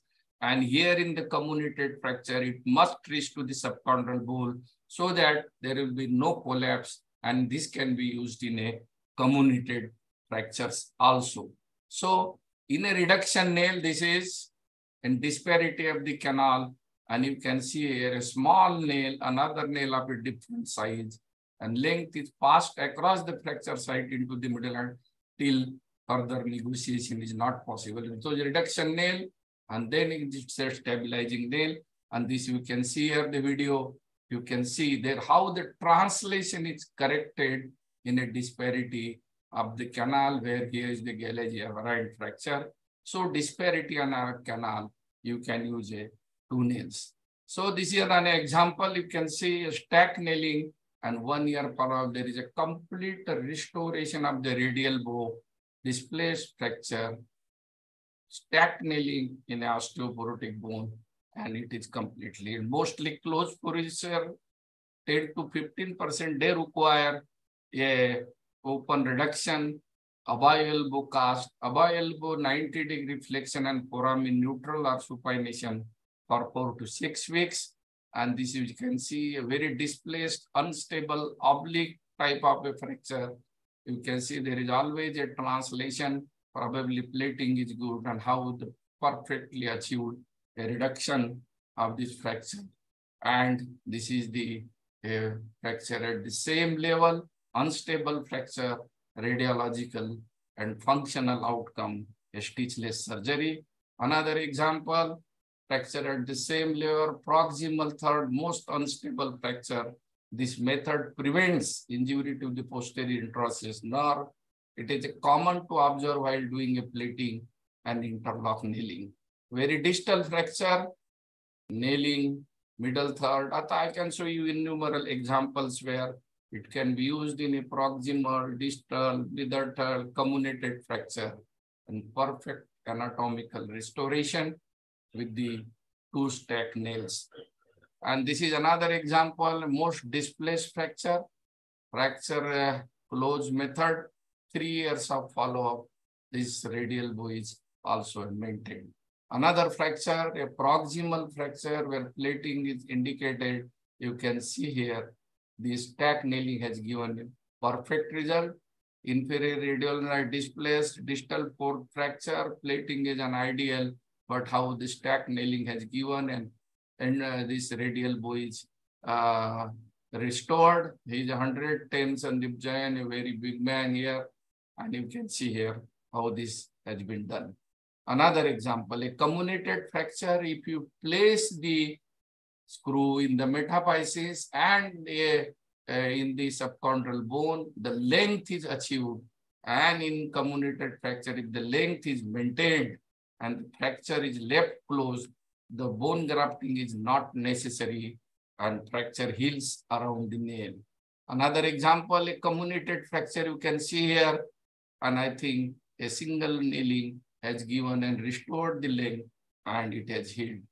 So another example, revision surgery after plate failure, did the nailing, restored the leg and bone grafting and patient had a perfect anatomical restoration. Another example where the plating has failed, did a stack nailing with bone grafting and everything healed. Another example, a single isolated fracture and segmental fracture of the ulna. This is one of the best method you can perform by closed method without giving any soft tissue trouble. Another example, a radius comminuted fracture, the length is maintained, you can see here. There is nothing like that the nailing is contraindicated in comminuted fracture. We have to maintain the length and the nail should be placed in the subchondral bone. And you can see here how a transfer fracture, comminuted fracture of a radius close. So nailing against nailing plasters causes permanent stiffness of the joint. It's a myth. An uninjured joint never gets stiff if immobilized up to six weeks in any part of a splint or a plaster. John Charnley. Another incomplete reduction and produce a distraction of the other bone. Ulna is a relatively straight bone, so no issue of nailing. Simple principle, three-point fixation, thicker rim nail to prevent back out. Problem is with the radius to restore the radial bow. This is one of the most important issue. and how to reduce uh, uh, this restore the radial bow. So eccentric entry point, use a pre-bent bell to restore the radial bow. In clinical practice, it is rarely observed, but with the careful thumping and compression distraction can be reduced and more it is an issue in the uh, the Galeazzi type of variant fracture, but where that also can achieve it. Another example, you can see here the one bone is uniting, another bone is translated. So what I did, just a supplementary, yeah, a additional plate has given a perfect anatomical restoration. These are some loss of radial to restriction of rotation of the forearm. That is the uh, nailing against, and you can see there is a complex curvatures of the uh, these forearm bones, and they are very difficult even to match with the plate also, though people say that the plating is superior union, but radial bow restoration is not even always possible by plate also. So myth, good union and full function at the foreman. Another example, you can see no function and it's a very unstable fracture, inferior radioulnar displaced, segmental fracture, did a close nailing, and there is a functional outcome. Another example, this is all segmental radius with ulna fracture with inferior dislocated, closed technique, one month follow-up, six month follow-up after 12 months. Though there is a some anatomical variation, some inferior radial joint disparity still, but you can see the functional results. So in general observation, some terminal RMO may be lost, especially supination of forearm. But the majority work which can be performed without full supination and over the period, they compensate. How the compensation occurs, you can see here, the terminal loss of RMO, but no problem to the patient in this case. And you can see here, this proposition, when both forearm bones are fractured, if the radial bow is lost, the ulna and shoulder probably adapts uh, to allow the full rotation. In isolated radial fracture, it is probably the more important to retain the radial bow, and this is the crux here in the this. So how it compensate, I think so, and you can see this is how a video is there, and this is how a how compensation compensation occurs at the elbow and shoulder, which is even not visible when you do a nailing and in a functional impairment.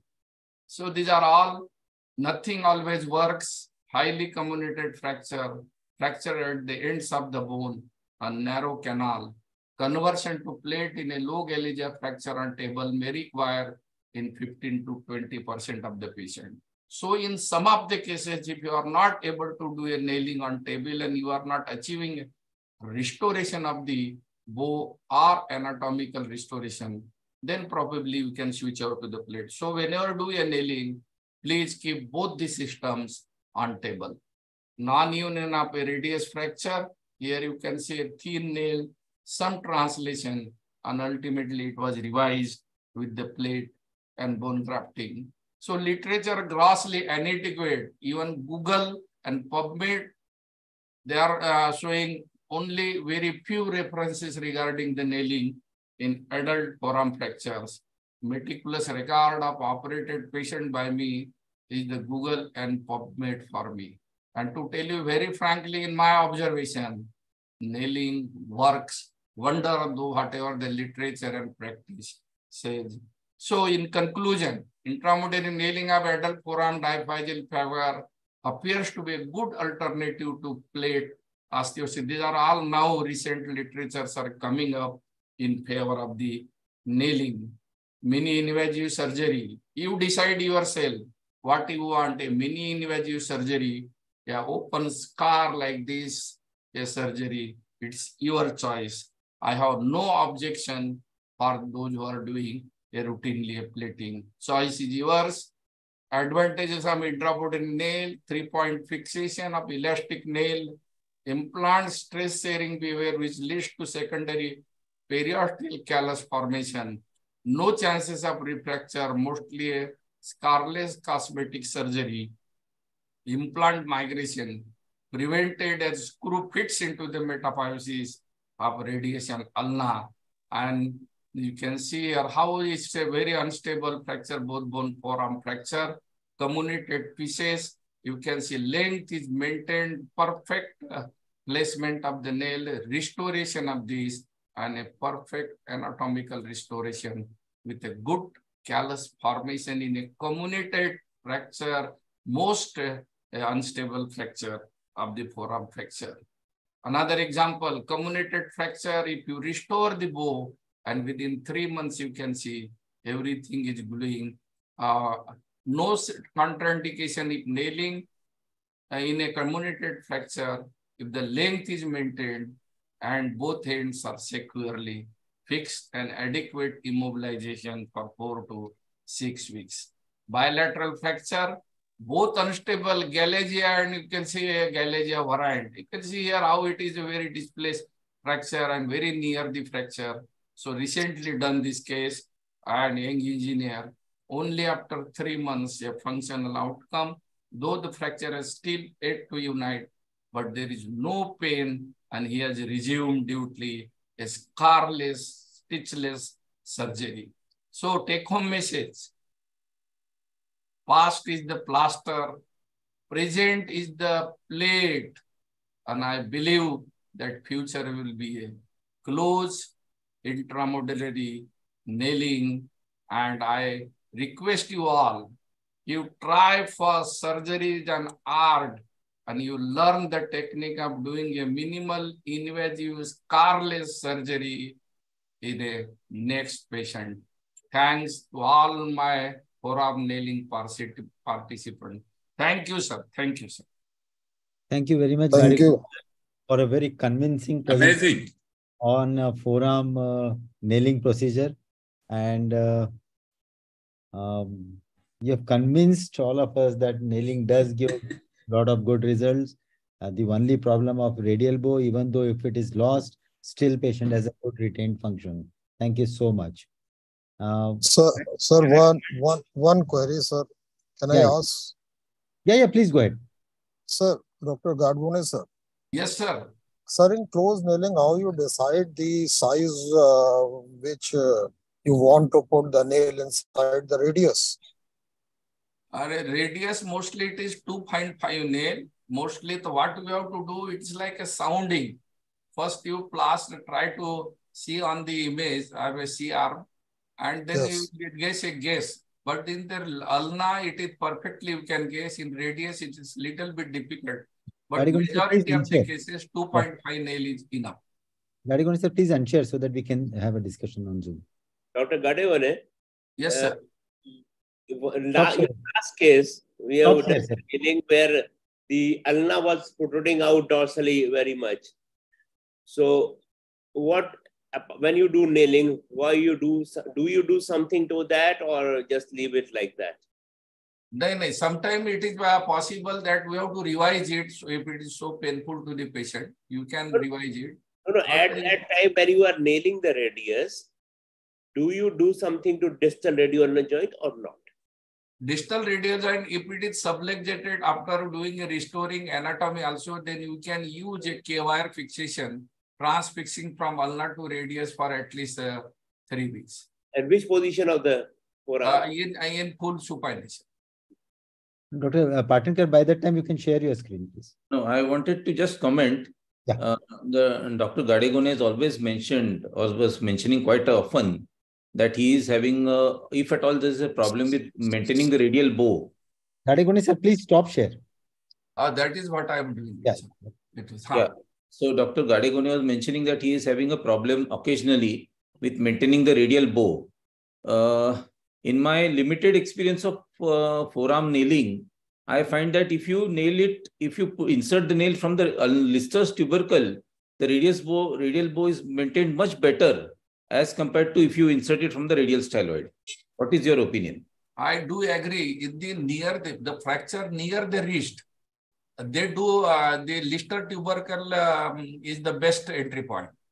For diaphyseal and above, you can use a, a styloid process. I think you should, uh, we should study the fracture pattern of the radius also. Yes. when we are doing uh, the nailing. And for uh, entering at the Lister tubercle, I find that take a formal incision and retract the uh, extensor pollicis longus on the lateral side, and there will be no problem. If you do it blindly, your EPL is going to give you a lot of trouble, or it may uh, have a rupture also. No, no, I don't do it blindly. I give a incision, Yes. with the artery forceps bluntly, reach to the bone, and then and then uh, owl is passed, not a blind. I would I would suggest that you should retract the EPL on the lateral side.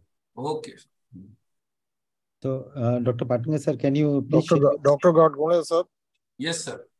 Sir, Dr. Gadegone Yeah, please go ahead. uh, Ask your question. done first. Which nail Allah should be, uh, yeah, which is first. And, uh, sir.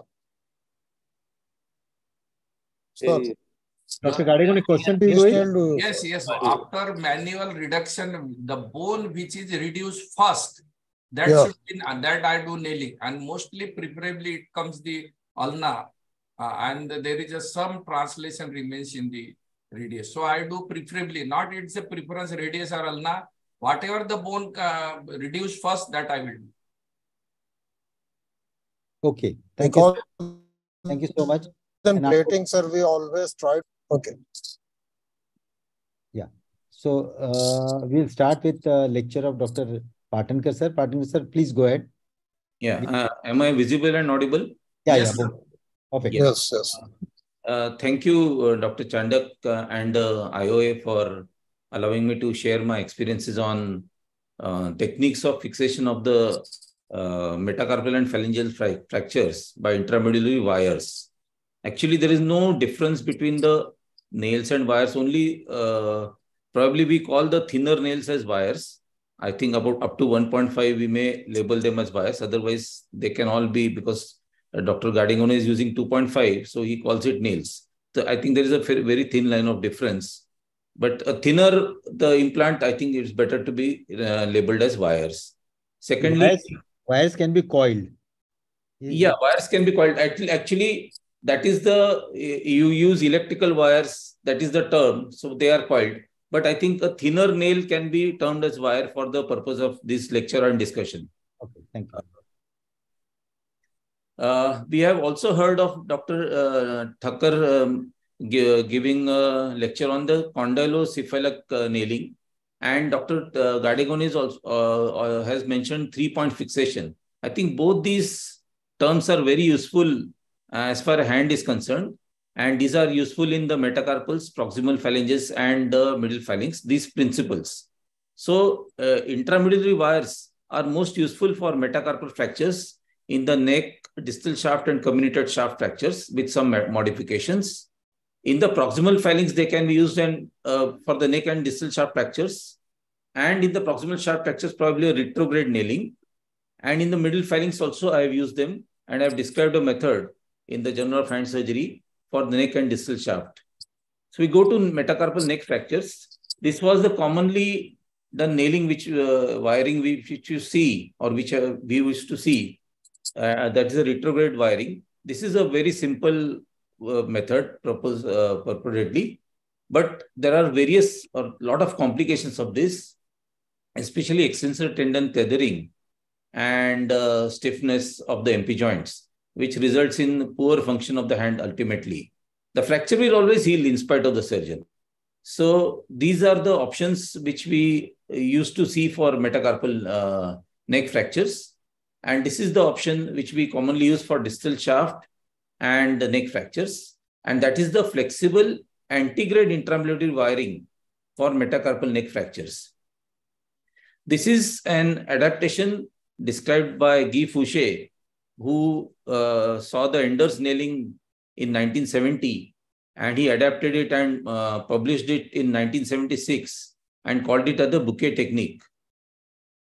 This is basically a technique uh, described if close reduction is possible, for which I think an early presentation is important for the patient. He should present in at such a time that close reduction of the fracture can be possible.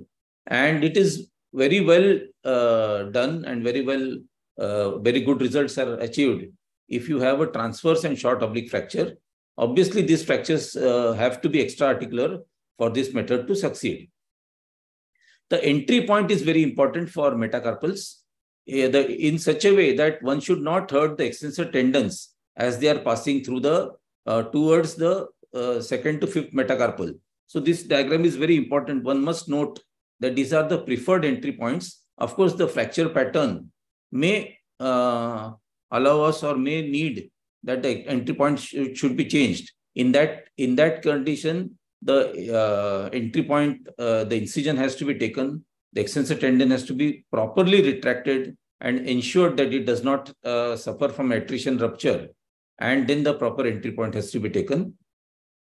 Commonly, a metacarpal neck fracture will present with uh, not only angulation, there is significant volar comminution. So this has to be taken care of or must be remembered while we are doing a uh, antegrade nailing, uh, antegrade wiring of the metacarpal neck fractures. And this is the bouquet technique uh, or the example of a bouquet technique described. After close reduction, we achieve this. The wires are spread apart in the uh, distal fragment or in the head. So it's a minimally invasive extraarticular method. The reduction is quite simple as far as uh, metacarpal neck fractures, but the fixation is complex. Why it is complex? Because the wires have to be seated in different quadrants of the head, for which they have to be, the distal ends of the wires have to be bent uh, to various degrees, 30 to 45 degrees. The maintenance of the reduction depends on the wire rotation in the particular fragments. Beware of the hidden intraarticular extensions. In spite of taking multiple X-rays, sometimes there are intraarticular extensions which can be missed and the wires can penetrate, penetrate through that into the joint. And in the metacarpal, the biggest problem is that the lateral view is very difficult to interpret because of overlap. So you have to depend on supine oblique and prone oblique views and get an idea of the uh, proper reduction and proper wire placement. So this is the same case, the index case. This is the uh, X-ray at 40 weeks. This was a doctor and that is the function at 40 weeks. And as you can see, a minimally invasive technique, a very small incision has been taken, no scar problems and very good function. So these, the steps of the antegrade intramedullary K-wire fixation for metacarpal neck fractures. Obviously, after close reduction are available on this YouTube link. Uh, the lecture would have extended too much if I had uh, shown this video. So I, all of you can see this on the YouTube at this link. So for this uh, technique, the most important tools are a small T handle, a wire bender, and a K-wire cutter. And the wire size recommended is depending on the bone that we are uh, involved or uh, bone we are fixing. Uh, generally for middle phalanx, it is 0.8. Uh, um, for, for middle phalanx, it is 0.8 millimeters. For proximal phalanx, it is 1 millimeter. And for metacarpus, you can go up to 1.2, but uh, multiple wires of 1, 1 millimeter are also good enough. You study, now this is another case. In this, we should, all, in every case of a metacarpal neck fracture, we should study the X-ray in detail. This is a case of a comminuted uh, fracture of the neck of the fifth metacarpal. If you study the X-ray in detail, you find that there is a comminution at the side. The head per se is intact, but there is a comminution. So if you are not careful of the way to in, uh, insert the wire, then you may uh, end up in uh, at the fracture site. So this is the X-ray at three months post-op. And you can see a, a very good example of a segmental fixation with joint sparing. This is the function at three months. And this is three years post-op. You can see the nail has neither migrated proximally or distally, and which restores the knuckle. It's a tendon sparing surgery and joint sparing surgery. So this is another case where the surgeon probably got misled. Lateral view, as I mentioned, is useless in metacarpal neck fractures. It's very difficult to interpret.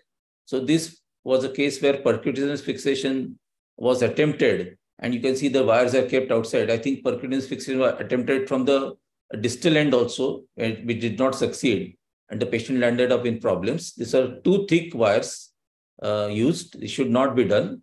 And again, volar slab should not be done. It causes MP joint stiffness.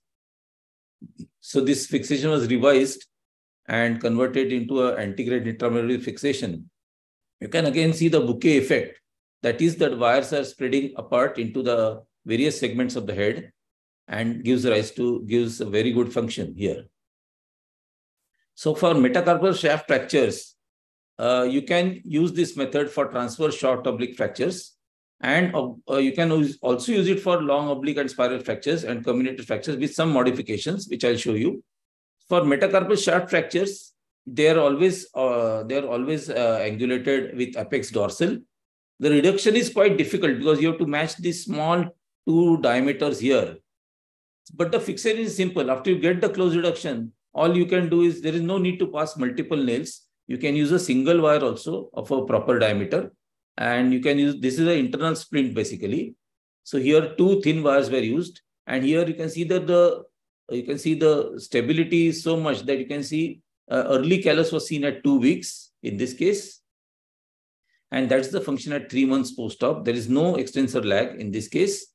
Uh, for people who are not used to this method, I would recommend that one should start with the fifth metacarpal. That's the simplest bone to uh, operate. And uh, this was a case of multiple shaft fractures. This was an ATV accident, a young lady with multiple abrasions, multiple other problems. This was a case where there are three metacarpal shaft fractures. And oh, the reduction was done closed, but to ensure that the extensor tendon does not uh, suffer any damage, the extensor were identified through a long incision and a single wire was passed through uh, into all the three metacarpals. And that is the uh, result at six months post-op. This was again a tendon sparing, joint sparing surgery. And uh, she developed MP joint stiffness because of the multiple injuries and treated with splints. And you can see even at the six months, she has got very good function. And this is at three years post-op. She's got normal function of the hand. So for comminuted shaft fractures and oblique fractures, uh, the currently the low profile plates and screws are uh, in vogue. The AO and Martin have got very good options for this. But you can also treat it with uh, locking uh, nails or locking wires, as I have described in uh, 2011, this paper.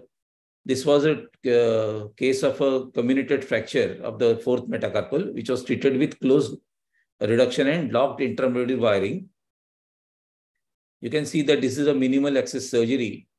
And this, after the surgery, we give an early assisted mobilization in form of strapping and the fracture heals. There is no collapse because of this proximal lock. The distal lock is provided by this blunt wire uh, in uh, engaging into the intact head and that's the functional recovery. And obviously, in these cases, because of the uh, this uh, lock is protruding through the skin, this has to be removed. All the implants have to be removed in this case. Other cases, there is no need to remove the implants. So we go on to cases of fractures of the proximal phalanx. As you can see, the fracture of the proximal phalanx is closely related to the flexor tendons neurovascular bundle and the proximal phalanges are surrounded by the extensor apparatus, especially in this proximal two-thirds. So one has to be very careful when you do a closed wiring so as not to hurt the extensor tendons. And uh, obviously, we must get a close reduction. So these are the examples of uh, failed closed intramedullary or closed wiring where it resulted in malunion, non-union, joint stiffness, and tendon impalement. So these are uh, examples of what is not to be done. The aims, like in a metacarpal, is to achieve a stable fixation, anatomic reductions, tend, it should be joint and tendon sparing, and permit early mobilization. If you leave them alone, if this uh, shaft of the proximal phalanges or the distal end, then they always have an apex volar angulation, which causes flexor tendon adhesions and PIP joint flexion contractures eventually. So this technique works, the antegrade intramedullary wiring, it works best in fractures of the distal shaft and neck. And the technique described by Guy Foucher in 1976 for metacarpal necks was described by Gonzalez and uh, Igram and Hall in 1995. And they used very thin 0.8 millimeter wires in this. And this was a case of a distal end of the proximal phalanx distal shaft, I would say, who presented 10 days post-op it was quite challenging. We presented with a grotesque deformity. It is a closed injury. So here uh, I uh, decided to go in for a closed nailing, but the challenge was to get a close reduction of this case. You can see a, uh, some combination also. So under anesthesia, a sustained traction was given and a liberal incision was taken at the base of the proximal phalanx. You identify the extensor tendon and and extensor tendon is split in the midline here. The reason the midline split is the safest split uh, in an extensor tendon, especially when you're dealing with fractures of the proximal phalanx and the uh, middle phalanx. There is no bare area in, in these two bones. So you have to, uh, uh I would say, touch the extensor tendon at a place where causes the least damage. So here the bone entry is taken about five millimeter distal to the uh, MP joint line. In a metacarpal, the bone entry is about eight millimeters distal to the CMC joint. So not more than one millimeter wires, definitely in a proximal phalanx, ideally 0.8 millimeter wires. They should be pre-bent blunt wires. The extensor, the uh, split in the extensor tendon is uh, retracted with blunt skin hooks. And after you uh, insert the wires, you should use or invest, I would say, in a sharp cutter, which will cut the wires as close to the bone as possible. And then the tendon is sutured over that. So these are the steps of the same case. The entry hole is 5 millimeters distal to the MP joint. You locate the intramedullary canal with a blunt wire. And these are all the steps which are seen in the metacarpal video also. And then a 1 millimeter wire is used and uh, the it is uh, uh, pushed up to the fracture site. Once you reach the fracture site, the wire is rotated because if you continue in this same direction, the wire will go out of the fracture site. So the wire is rotated at the fracture site and then advanced across the fracture and that is the final seating of the wire. So this is the pre-op. These the wires are cut uh, close to bone. You can see that the wires in a metaca in a proximal phalanx there is not too much place in the distal shaft and the neck to rotate the wires. So you can just try to get them as uh, wide apart or as uh, the, the, their end should be apart as much as possible, but not, uh, uh, not it's not possible as much as a, in a metacarpal neck. So the wires are cut close to the bone and the, you should always use multiple wires. You can use multiple wires. If you are using thin wires, you can definitely use multiple wires. As you can see, they are cut close to the bone and they are away from the joint. So we go to the three-point fixation principle, which is easily seen in, a, in the lateral view. So that's why I've demonstrated in the proximal phalanx. This is the same example. This is the pre-op and you can see the wires are inserted in the three-point fixation. What does it mean? It means that the K-wire abuts the intact cortex in the near fragment and the near means near to the entry point. So you, if you go retrograde, then the near cortex is in the uh, far end of the bone. So this is the entry point. These are the places where the wires are abutting. If that means that if the fracture is at this place, you cannot use this method because the wire, if it, if it abuts here, then and then only the second point of fixation is in the near or close to the in the proximal fragment, and then the third uh, point is in this uh, distal fragment. So this is the three-point fi uh, fixation principle. So this was the same case. This is three years post-op. You can see a perfect healing of this uh, fracture. The wires are not hurting the tendon and nowhere near the joint. And that is the uh, magnification. And that is the three-point fixation. And you can see an excellent result because the three-point fixation has been followed. And that is the function. Now you can see this example where uh, by uh, as an error, I'm showing you this case. This was the uh, entry point, and the second point of fixation is in the far fragment. So this three-point fixation is not served in this principle, and that's why the fracture is getting displaced. So probably another method of fixation or a retrograde method of uh, nailing or wiring should have been done in this case. So you can see that the fracture is dislodged because proper attention to detail was not given in this case. So a fracture of the neck you can go as far as the neck of the proximal phalanx, provided the fracture is extra-articular. So you can do this method, you can use this method if the fracture is extra-articular. Make sure that you see the X-ray properly and see that the fracture is extra-articular. And that is the result at two years post-op. And you can see an excellent function. You can see in spite of extensor split, in spite of keeping the wire inside, there is no problem with these wires.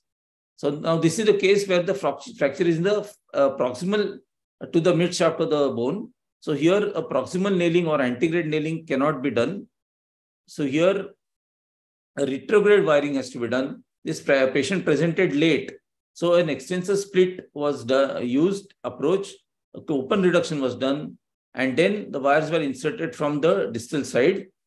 That's how you should remember while you're doing a, a retrograde wiring at that the base of the proximal phalanx is uh, there is a lot of place on the volar side of the proximal phalanx. So the wire has to be directed in such a way that it goes on the volar side here like this, like this.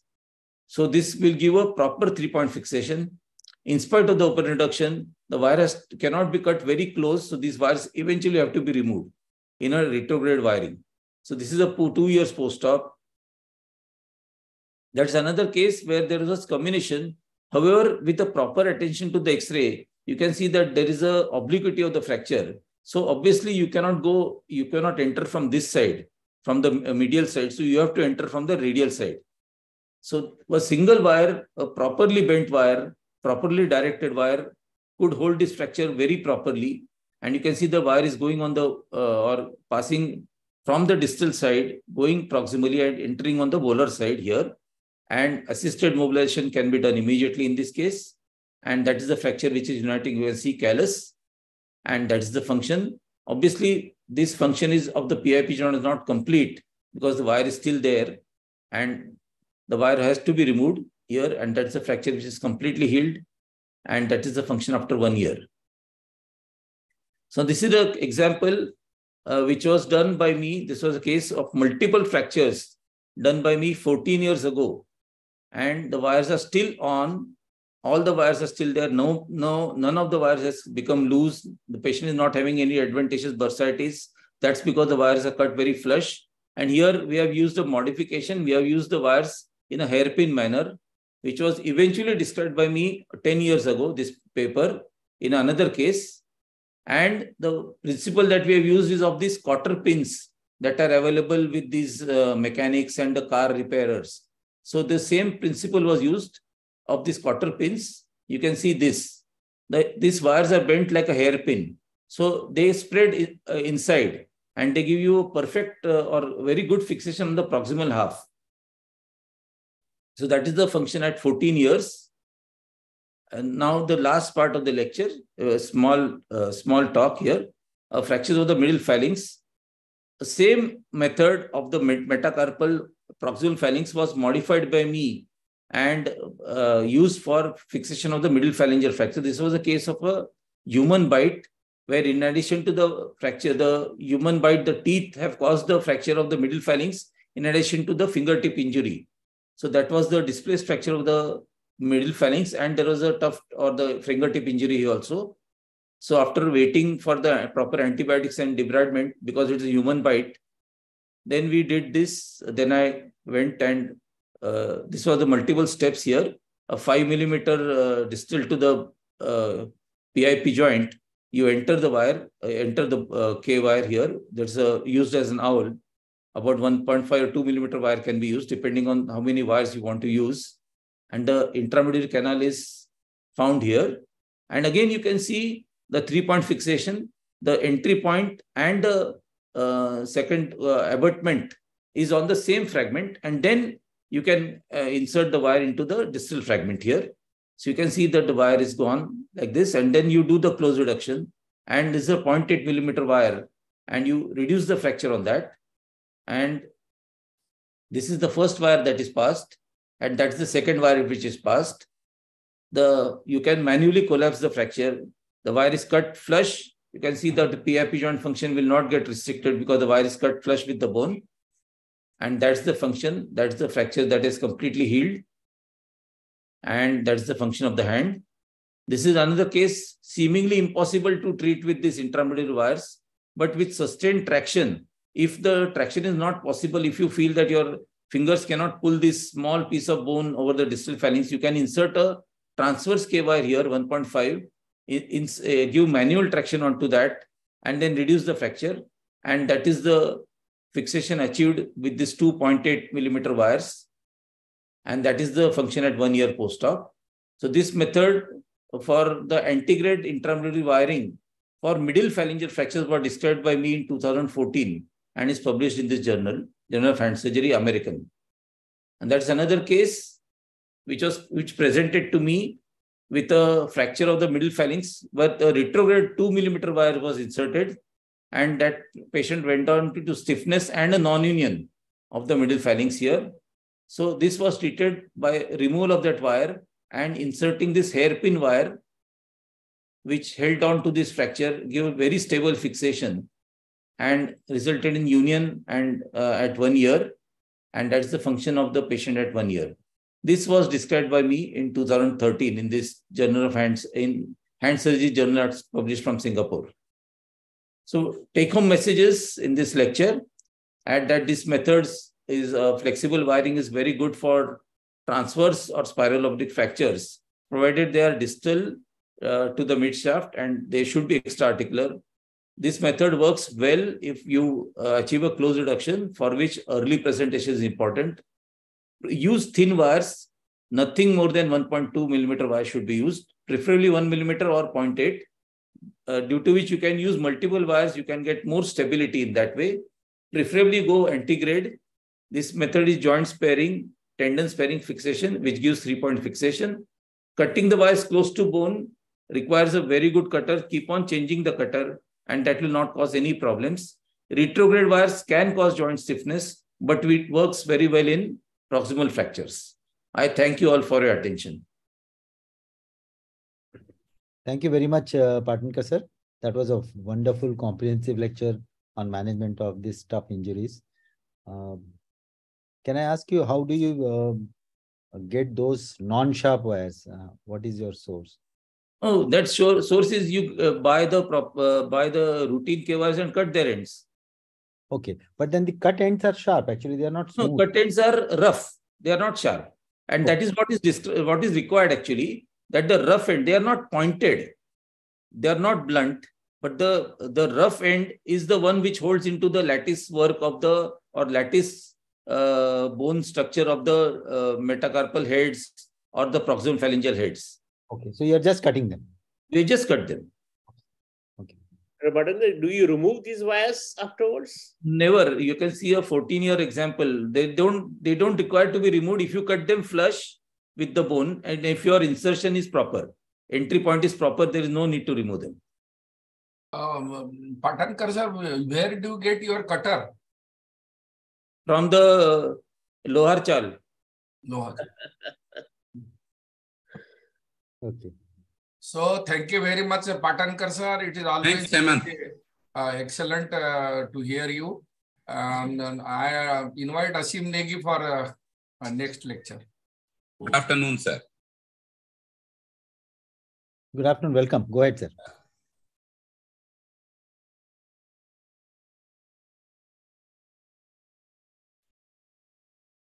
Most important lecture is awaited of Dr. Chandak, where infection is Yes. in situation. So we'll hear the infection uh, after this aseptic non-union, infected non-union. Friends, if I tell you that forearm is a complex joint, don't be surprised. Fracture of the radius ulna is actually not a diaphyseal fracture. It's a complex intra-articular fracture involving six joints from elbow to wrist, as you can see in this drawing there. Incidence of non-union is 2 to 10%, not very high, but when it occurs, it's severely disabling because the dysfunction extends to elbow and wrist, and it limits the ability of the person to place his hand in space. Treatment is difficult because as such, you have got very poor bone mass in forearm bones and presence of previous implants makes placing new hardware even more difficult. And there can be issues with joint stiffness of elbow and wrist because of the prolonged immobilization. We all know that a fracture by definition is labeled as non-union when it has not healed in six months There is no progression of healing seen on X-rays in three months, and there is no chance of healing without additional operation, as you can see in the case on the right side. Causes can be mechanical. Quite often, many of us are placing plates which are too short or too weak so that they bend before the fracture consolidates, or there is outright malreduction, as you can see in these two cases shown below. Causes can be biological, local causes like bone loss in an open fracture, a segmental or a severely comminuted fracture with poor soft tissue cover after high velocity injury, infection, pathological fractures after tumor and other metabolic things, or post-radiation fractures. Systemic causes like diabetes, smoking, and vitamin D deficiency can all predispose a patient for non-union. Non-union leads to shortening, angulation, loss of radial bow, and consequently loss of motion and function. For treatment of aseptic forearm non-unions, compression plate and autogenous bone graft is the gold standard. A review of literature will tell us that 80 to 90% patients will get good to excellent outcome. Only 5 to 10% get poor results. A defect less than 6 centimeter can be bridged with autogenous cancellous bone graft. I often use chip grafts as shown on the left, rarely a block graft shown on the right. Defect of more than 6 centimeter can be bridged with autologous fibula as we did for this patient shown on your right side. If osteocutaneous free vascularized fibular graft has very high success rate, but has far more donor side morbidity, you need microsurgical expertise and there's slightly increased risk of infection. As we did for the 60 year old female in which there was a 15 centimeter defect in ulna after excision of a tumor, which was placed with free vascularized fibula. Hypertrophic non-union, they require only compression plating. You require, you are needed to remove the callus to position the plate fully and you can use callus as bone graft. Baldini showed that allograft is as good as autograft. We will use some of these principles in treating the 16-year-old who was plated like this and at 10 weeks, his X-ray shows that there is no compression achieved at radius or ulna. Radius has significant rotational pronation malalignment and there is lysis seen around all the screw holes. Yet people waited 14 weeks, plate has bent. Eight months, he has pain, limitation of range of motion, that's his dominant hand. He cannot write down his papers or play. Fortunately for us, there is no infection. We decided to revise it. You can expose the entire radius by anterior approach. Keep the widest possible bridge between radius and ulna. You can see the artery and the superficial branch of radial now in the dissection there. Do a Z tenotomy of pronator teres. Raise good osteoperiosteal flaps with muscles attached. Take out your hardware expose the fracture ends and open the medullary canal proximally as well as distally with 1.5 millimeter K-wire, but do not perforate the cortex. Note that this radius is obviously fixed in pronation. Expose the interosseous border of radius and correct all the rotational malalignment precisely. I tend to place my radial plate on the anterolateral surface, which makes it easy to restore the radial, bro, uh, radial bow. Nice, good compression achieved at radius, and at the end you repair the pronator teres. We chose a 12-hole long LCP to bypass holes due to previous fixation in this patient. It's very obvious that radius is anatomically reduced and well compressed using cortical screws shown by the arrow. So we achieved absolute stability in radius. To maintain the normal radio-ulnar variance, ulna will obviously have a gap. Don't worry about that. Ulnar plate is buried well within the bone. Rest thick osteoperiosteal flaps. To remove the hardware, don't forget to send the material for culture and sensitivity from the medullary canal. Ulna in mid third is balloon, is deformed. It has many holes of previous fixation. Just bypass them by using a 16-hole locking plate. And this 16-hole bridge plate offers relative stability, but yields union. Get at least four screws in normal ulna proximally and distally. Use allograft to pack the void in the mid third of ulna. You can see how much of the graft has been packed there. As his immediate post-op and seven months back, he has got an excellent function. He's back playing cricket. In his landmark paper, spanned over 33 years, treated 47 patients. 80% had good to excellent results. 20% of the poor results were attributable to mostly stiff wrist, and one patient had a stiff elbow. They also showed that diaphyseal non-unions give better results than proximal ulnar and distal radius non-union, probably because PRUJ and DRUJ are less affected. Let's see some case scenarios. 26-year male, two-year post-op has significant limitation of function, treated like this. He had some pain also. His other forearm also is treated the same way, but he's not complaining much on that side. Hardware removed, volar approach, mobilize the non-union and correct the deformity. Pre-stress your plate at the fracture site as shown by a yellow arrow and contour the plate as shown by the green arrow in the distal part to accommodate the concavity of distal part of radius, plate it, graft it, and four weeks the K-wire goes out and one year fracture has united with full recovery of function. Another 33-year-old surgeon treated him like this, this fracture treated like this. Later on, he realized that DRUJ was dislocated. So he added simply two K wires, but joint is still dislocated and radius is short and deformed. Eight months, he has significant limitation of supination.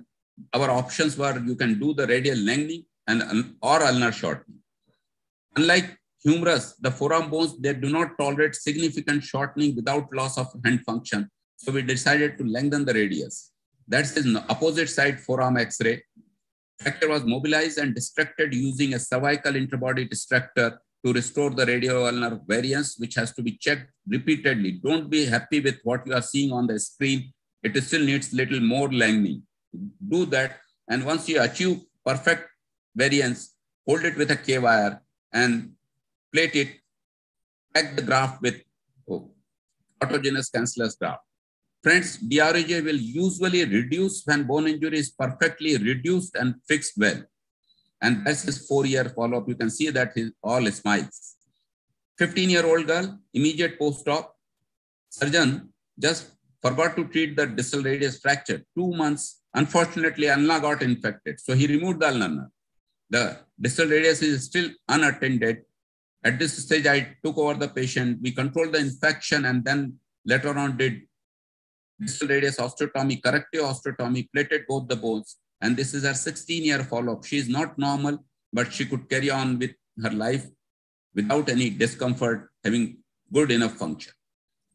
Friends, proximal ulnar non-union, they are usually associated with complex fracture dislocation of the elbow.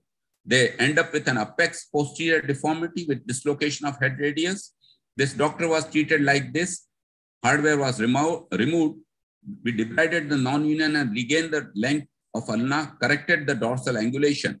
This plate should be placed on the dorsal surface, which is the tension site for ulna. Place the proximal screw shown by the red arrow orthogonal at 90 degree to the distal screws to get a rigid interlock construct and you can mobilize almost immediately and thus eight years follow-up, full return of function. The comminuted upper third radius ulnar fracture was nailed. There is no mechanical stability in this comminuted fracture with this type of fixation. There was shortening, dorsal angulation, hardware was removed, and plating with bone grafting yielded an excellent function. My take-home message is there is no role of MIS. Achieve stable anatomical reduction, preserving the biology. Longer plates with high plate and screw ratio, they are preferred. 90% patients can be treated with non-locking plates realign your DRUJ, assess with fluoro repeatedly and check rotations on table. Locking plates are mandatory to treat fractures with metaphyseal extension and for fixation into short proximal and distal fragments. Postoperatively, you have to really elevate them in the first few days to reduce the edema, immobilize for minimum time required to protect the soft tissue, but mobilize as soon as possible. Dislocations may require immobilization for three to four weeks. Complications are soft tissue may fail to heal, infection because they are long surgeries. Synostosis can occur in less than 6%. You can have a persistent non-union and joint stiffness can be your bugbear. Don't think that a child cannot get non-union. They do get non-unions. You have to correct metabolic disorder, follow the usual principles. However, rate of synostosis or myositis at ulna and elbow stiffness is slightly more in children. Nine-year-old conserved, then nailed like this. At six months, he had deformity, gross limitation of motion. Plating was done. Callus was used as bone graft. Radioulnar variance has been nicely restored. You can see that that's his three years follow-up, and this is now almost 12 years. He has got a full return of function without any shortening. Another 15-year-old increasing deformity due to non-union ulna post-infection. But when I saw him, he had no active infection, but a deformed, dysfunctional hand. We plated it, and that's his three years follow-up with good return of function. Another 26 year old, four months old, treated like this. Nail is buried deep within, located under image intensifier. Do an open removal of hardware. Protect the EPL tendon. Pass your plate through a tunnel in the pronator teres as we have done in this case. Fracture reduced, plated well. That's his immediate for post-op. Four months fracture is healed. He also happened to have a very badly infected above knee amputation, which had to be salvaged before doing this. And two years, he's back to his normal. He can drive a bike, he can do almost everything possible. There are alternative methods. Plate is not the only solution. You can use intramedullary nails. And more so, once now interlock nails are available or the threaded nails are available, but commonly used nails, they do not give any rotational stability. They cause to tend to cause loss of radial bow and shortening, causing DRUJ issues. However, you will find them useful in pediatric patients, patients with compromised soft tissue, or patients with pathological fracture where you want to span the entire length of the bone. That can be easily done using a nail. This patient had a septic non-union. We converted it to a non-aseptic non-union. 11-year-old with chronic osteomyelitis of the ulna was having multiple surgeries, discharging sinuses and a scarred skin. Almost 90% of the ulna was sequestered and had to be removed. Antibiotic spacer there. Six weeks we came back and spanned the gap using an autologous fibula. Only a thin pin was there with plaster and the fracture has healed at one year, two years, and that's his four-year follow-up. Absolutely normal function has come by, no infection. Thank you very much. Thank you, Dr. Asim Negi. That was a wonderful PowerPoint lecture with a lot of knowledge and experience. Wonderful results. Thank you so much. Any questions to Dr. Negi? Asim Negi sir, it is very difficult, very difficult and challenging uh, the subject. You have made it so easy. And I think, is, uh, presentation is more difficult. More difficult. It's and, more uh, difficult. That's the worst, worst case scenario. Hmm. So, so non-union of need. Yeah, go ahead, sir. तो इसलिए तो आपको पसंद किया गया इस lecture के लिए थैंक यू वेरी मच ठीक है और अगले लेक्चर के लिए Uh, evergreen ah. Dr. Chandak for infected non-union. And uh, Goel sir, uh, what is your comment regarding the uh, lecture of uh, Asim Negi? No, very, very nice, very nice cases. And he has done a wonderful job of and presented very well. Very nice. Thanks. I don't think we have to. Any question is there because uh, everything was very clear so thank you Gadegone sir for uh, allotting this topic of management of infected non-union after forearm nailing or even after forearm plating uh, infection after nailing of forearm is fortunately less as compared to plate fixations. However, nail bursitis, irritational bursitis, nail prominence, they are very, very common. And when infection occurs, actually it is much worse than a plate infection. It occurs throughout the medullary cavity. Our aim of managing these cases, goal number one is to eradicate or to minimize or to control infection. Goal number two is to achieve union after we have eradicated or controlled infection. And goal number three is to give them uh, back their function because a lot of these hands are quite stiff and non-useful hands. So we have to give them function back. And nowadays, when we manage an infection, we are blessed with a lot of other things apart from routine debridement, which is the most essential thing in controlling of infection. However, we also can use antibiotic pouches, vacuum dressings, negative pressure, wound therapy, and certain of new dressing materials. Such severe infections need a lot of thinking, debridement, wash, lavage, negative pressure wound therapy, and management in steps. That is one very crucial step in managing. And we have to identify the organism. And identifying the organism is critical in getting a good antibacterial coverage post-operatively. So usually I would like to seize all the antibiotic oral therapy which this patient keep on taking from various previous consultations or uh, from over the pharmacy. So we stop antibiotics so that we yield a good culture from the tissues in deep layers rather than the pus which is coming out from the sinus. Almost all of these infections in orthopedic are usually caused by biofilm forming bacteria and uh, they prevent antibacterial action. They do not allow opsonization and phagocytosis. And therefore, these infections are perpetual, chronic, and usually do not yield to a simple antibacterial therapy. So when we take up this case, the most important thing is to remove all slough, um, necrotic bone, uh, tissues which are uh, sloughing out, non-viable, and dense tissues, etc. by either surgical and sharp dissection. We do have a lot of wash, lavage, and we, we may use some tools to do a good defective um, tissues. This is a case. This patient presented almost a year after his nailing with florid infection. And as you can see, this complete bone getting sequestrated, had a lot of pouring pus, discharge, and he was managed with debridement, complete opening up of the uh, tissues on the ulnar side, removing all the dead tissue, then providing a negative pressure wound therapy so that the infection and the tissues uh, develop good vascularity. And after the infection control, the antibiotic spacer was used in the defect. So this is a cylinder of antibiotic used in that space. Usually we like to put this antibiotic spacer as a sort of a balun. So it has a K-wire inside on which uh, a cylinder of cement is there.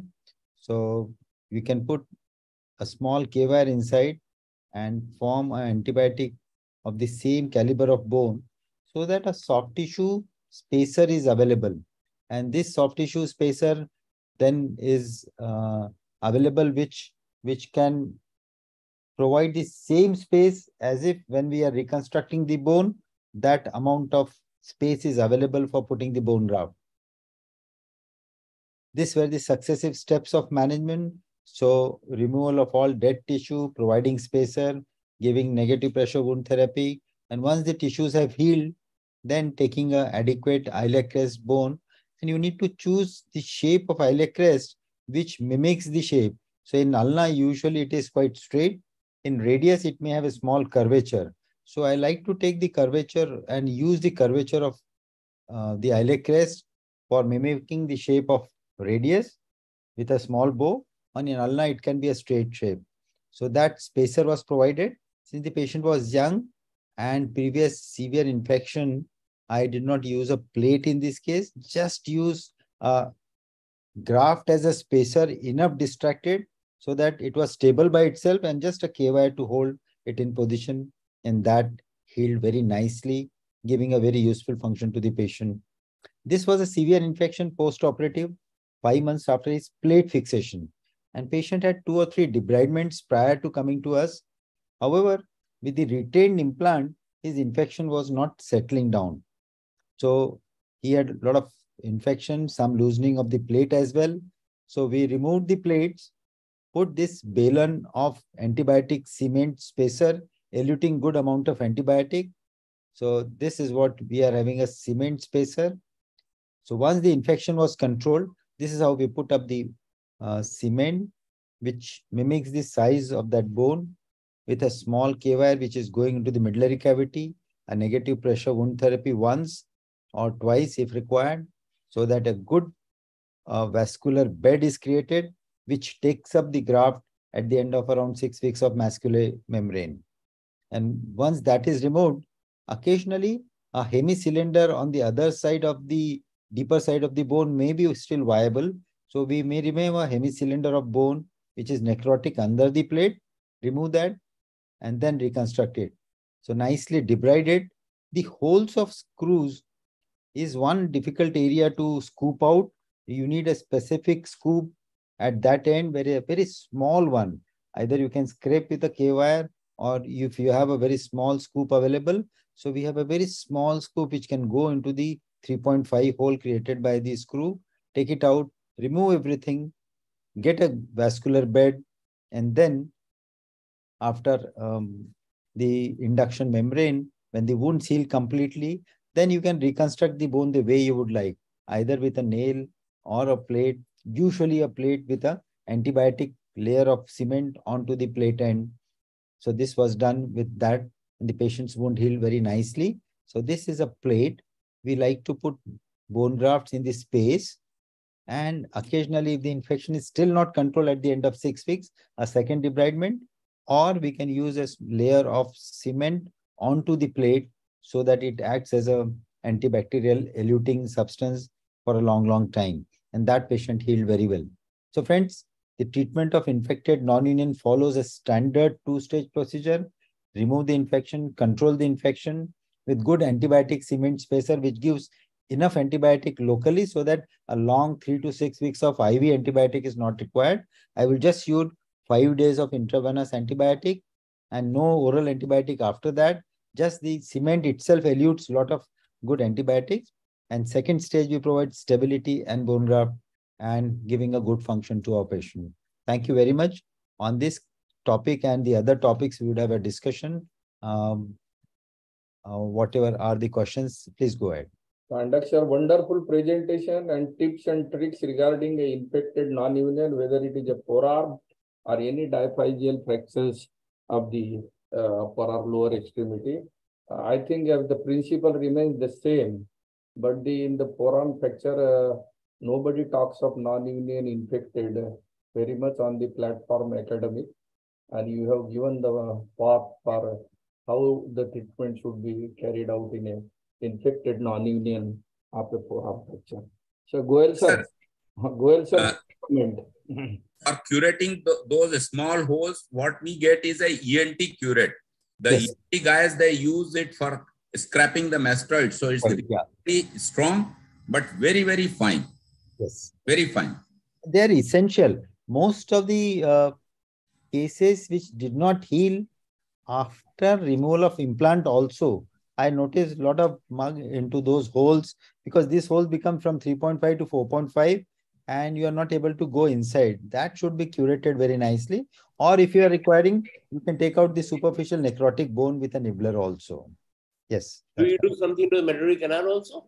Yes. So medullary canal, canal of forearm, unfortunately, cannot have a antibiotic cement nail, but we can we can scrape it out. Basically, those previous reamers can be utilized or long curettes with a thin handle can be utilized. But washing can be definitely done from the fracture end to the end of the bone. You can wash them with a, a thin tubes. Yes, that would be required.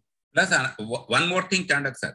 Uh, surgeon tends to, in oncosurgery, the person who removes the tumor tissue is different and reconstructive surgery uh, sometimes is different so that there is no hitch in dissecting the bone. Sometimes we are very miser in removing the dead necrotic bone. That will never unite. That is the most important step, probably. Yeah. So as you rightly so, showed, even without a plate, it healed because there were viable ends, nice, good cancellous graft, and only K-wire led to a healing in a very difficult situation. That was magic. So um, basically, good debridement is the key. And nowadays, with the availability of Masquelet two steps, uh, I think that fear of the bone not taking up is gone. With the good induction membrane, even five centimeter, seven centimeter, ten centimeter graft can take up very well. That has is an advantage nowadays. So uh, with this, I think we are coming towards the end of the webinar, and I would uh, like our advisor uh, and uh, patron, Dr. Goel sir, to sum up about various aspects of nailing in Indian scenario, its usefulness, its uh, pros and cons of nailing procedures uh, for upper limb injuries. Please, sir. as we saw and we discussed, usually the old dictum has been the plating for upper limb and nailing for lower limb because of weight bearing. But uh, it all depends on circumstances. And as uh, it was said in between, you whatever you do, you have to do it well. So if you are doing nailing, it, it must be done properly and well.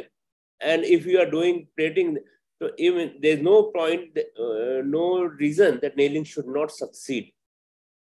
All of us have done enough number of nailings, and they do succeed. The problem may occur sometime when the humerus is very thin, you cannot lock it, you cannot enter. But that is again the problem of uh, technique.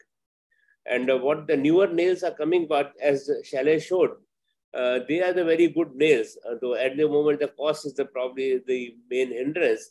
And I'm sure very soon, within a year or so, we will be getting Indian copies, uh, which will be as good as uh, the original one. Like we have got for PFN and log, proximal TBR plates and everything. Expert nail, everything is copied. So we will be getting it very soon, I'm sure. And uh, then it will be a good thing. Uh, one thing is there in that Shailesh lecture that it has it is mo- almost always an open reduction of the fracture. And Shailesh? Dr. Yes, in Shailesh? complex. Yes, in Yes, complex. sir. Three and three and four part, yes, sir, because we need to get the tuberosities back. So It is always an open reduction, so it should not be taken as a minimal invasive thing. The only thing is we are immobile, uh, we are fixing it with a proper nail, which is taking care of all the other problems. That is why, but otherwise, the reduction is an open reduction. That is very important. Right. Far as uh, talk about non-union, I will say that uh, the, the standard procedures for non-union and uh, though the question can be about two plates and one plate and always it will be the there and there are many papers which have come in favor of two plates being there. I don't know any of us applies two plates that regularly. As Asim- Regularly, always. Asim Almost always- default. not, For a non-union, not primary. we are talking non-union. We are talking. Yeah, for a non-union. Yeah. And uh, Go to default option. Yes.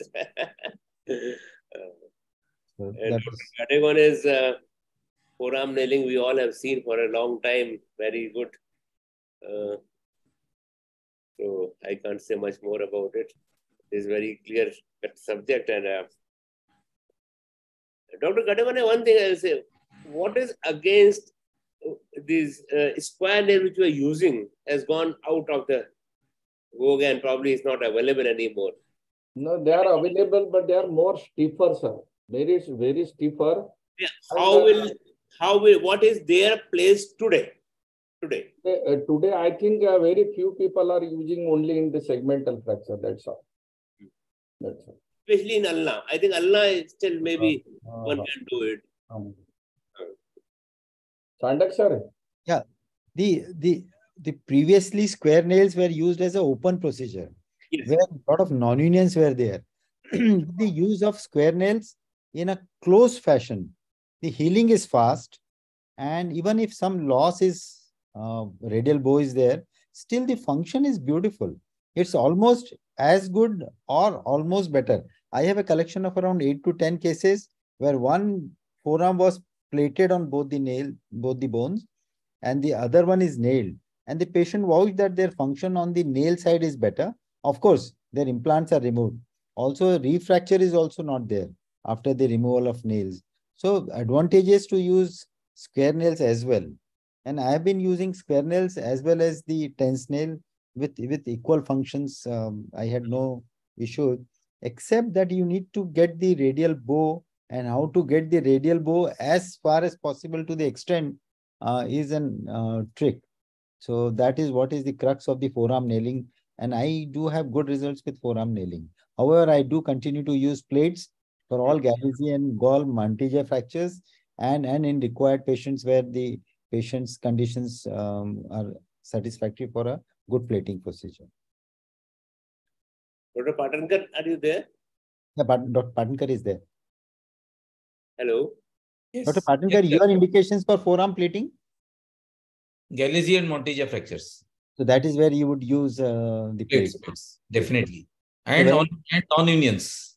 And for- on- which requires bone grafting and other reconstructive procedures, which Asim has shown.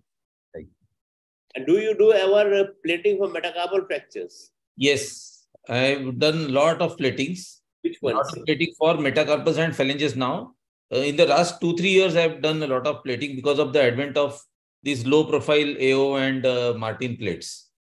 Initially, uh, I, I still my preference is for nailing for transverse and uh, short oblique fractures, but comminuted fractures, patients who present late, who, have, who require open reduction, in those cases, you require uh, uh, plating. Yeah. There was one question on uh, the use of VAC immediately after debridement. I'll answer that question that so after remove once you do a debridement, release the tourniquet, wait for seven to 10 minutes, let all the bleeding ends subside, cauterize all the bleeding ends. Uh, you can use hydrogen peroxide, use Cyklokapron or the uh, tranexamic acid.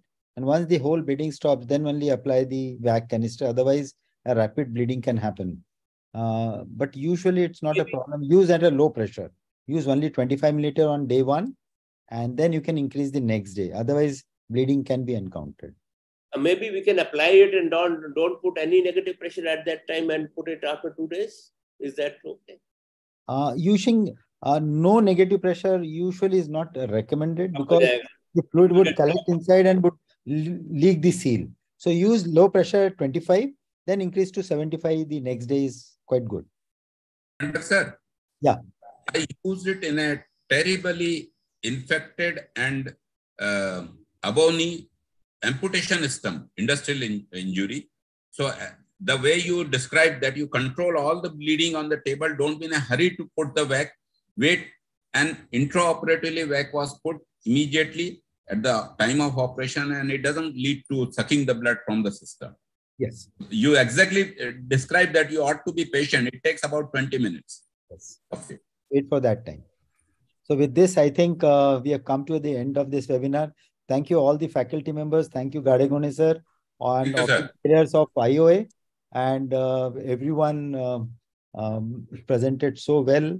Uh, for delegates, for any your comments on uh, YouTube, if there are any comments, I think you can mail them or you can put your comment so that uh, we can um, conduct this webinars in more useful manner.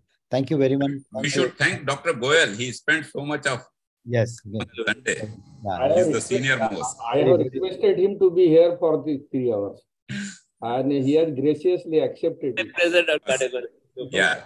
Thank you so much. Thank you, Hello, everyone. thank you very much, sir. Thank you. Thank you, sir. Have a nice day. Dhanyawad.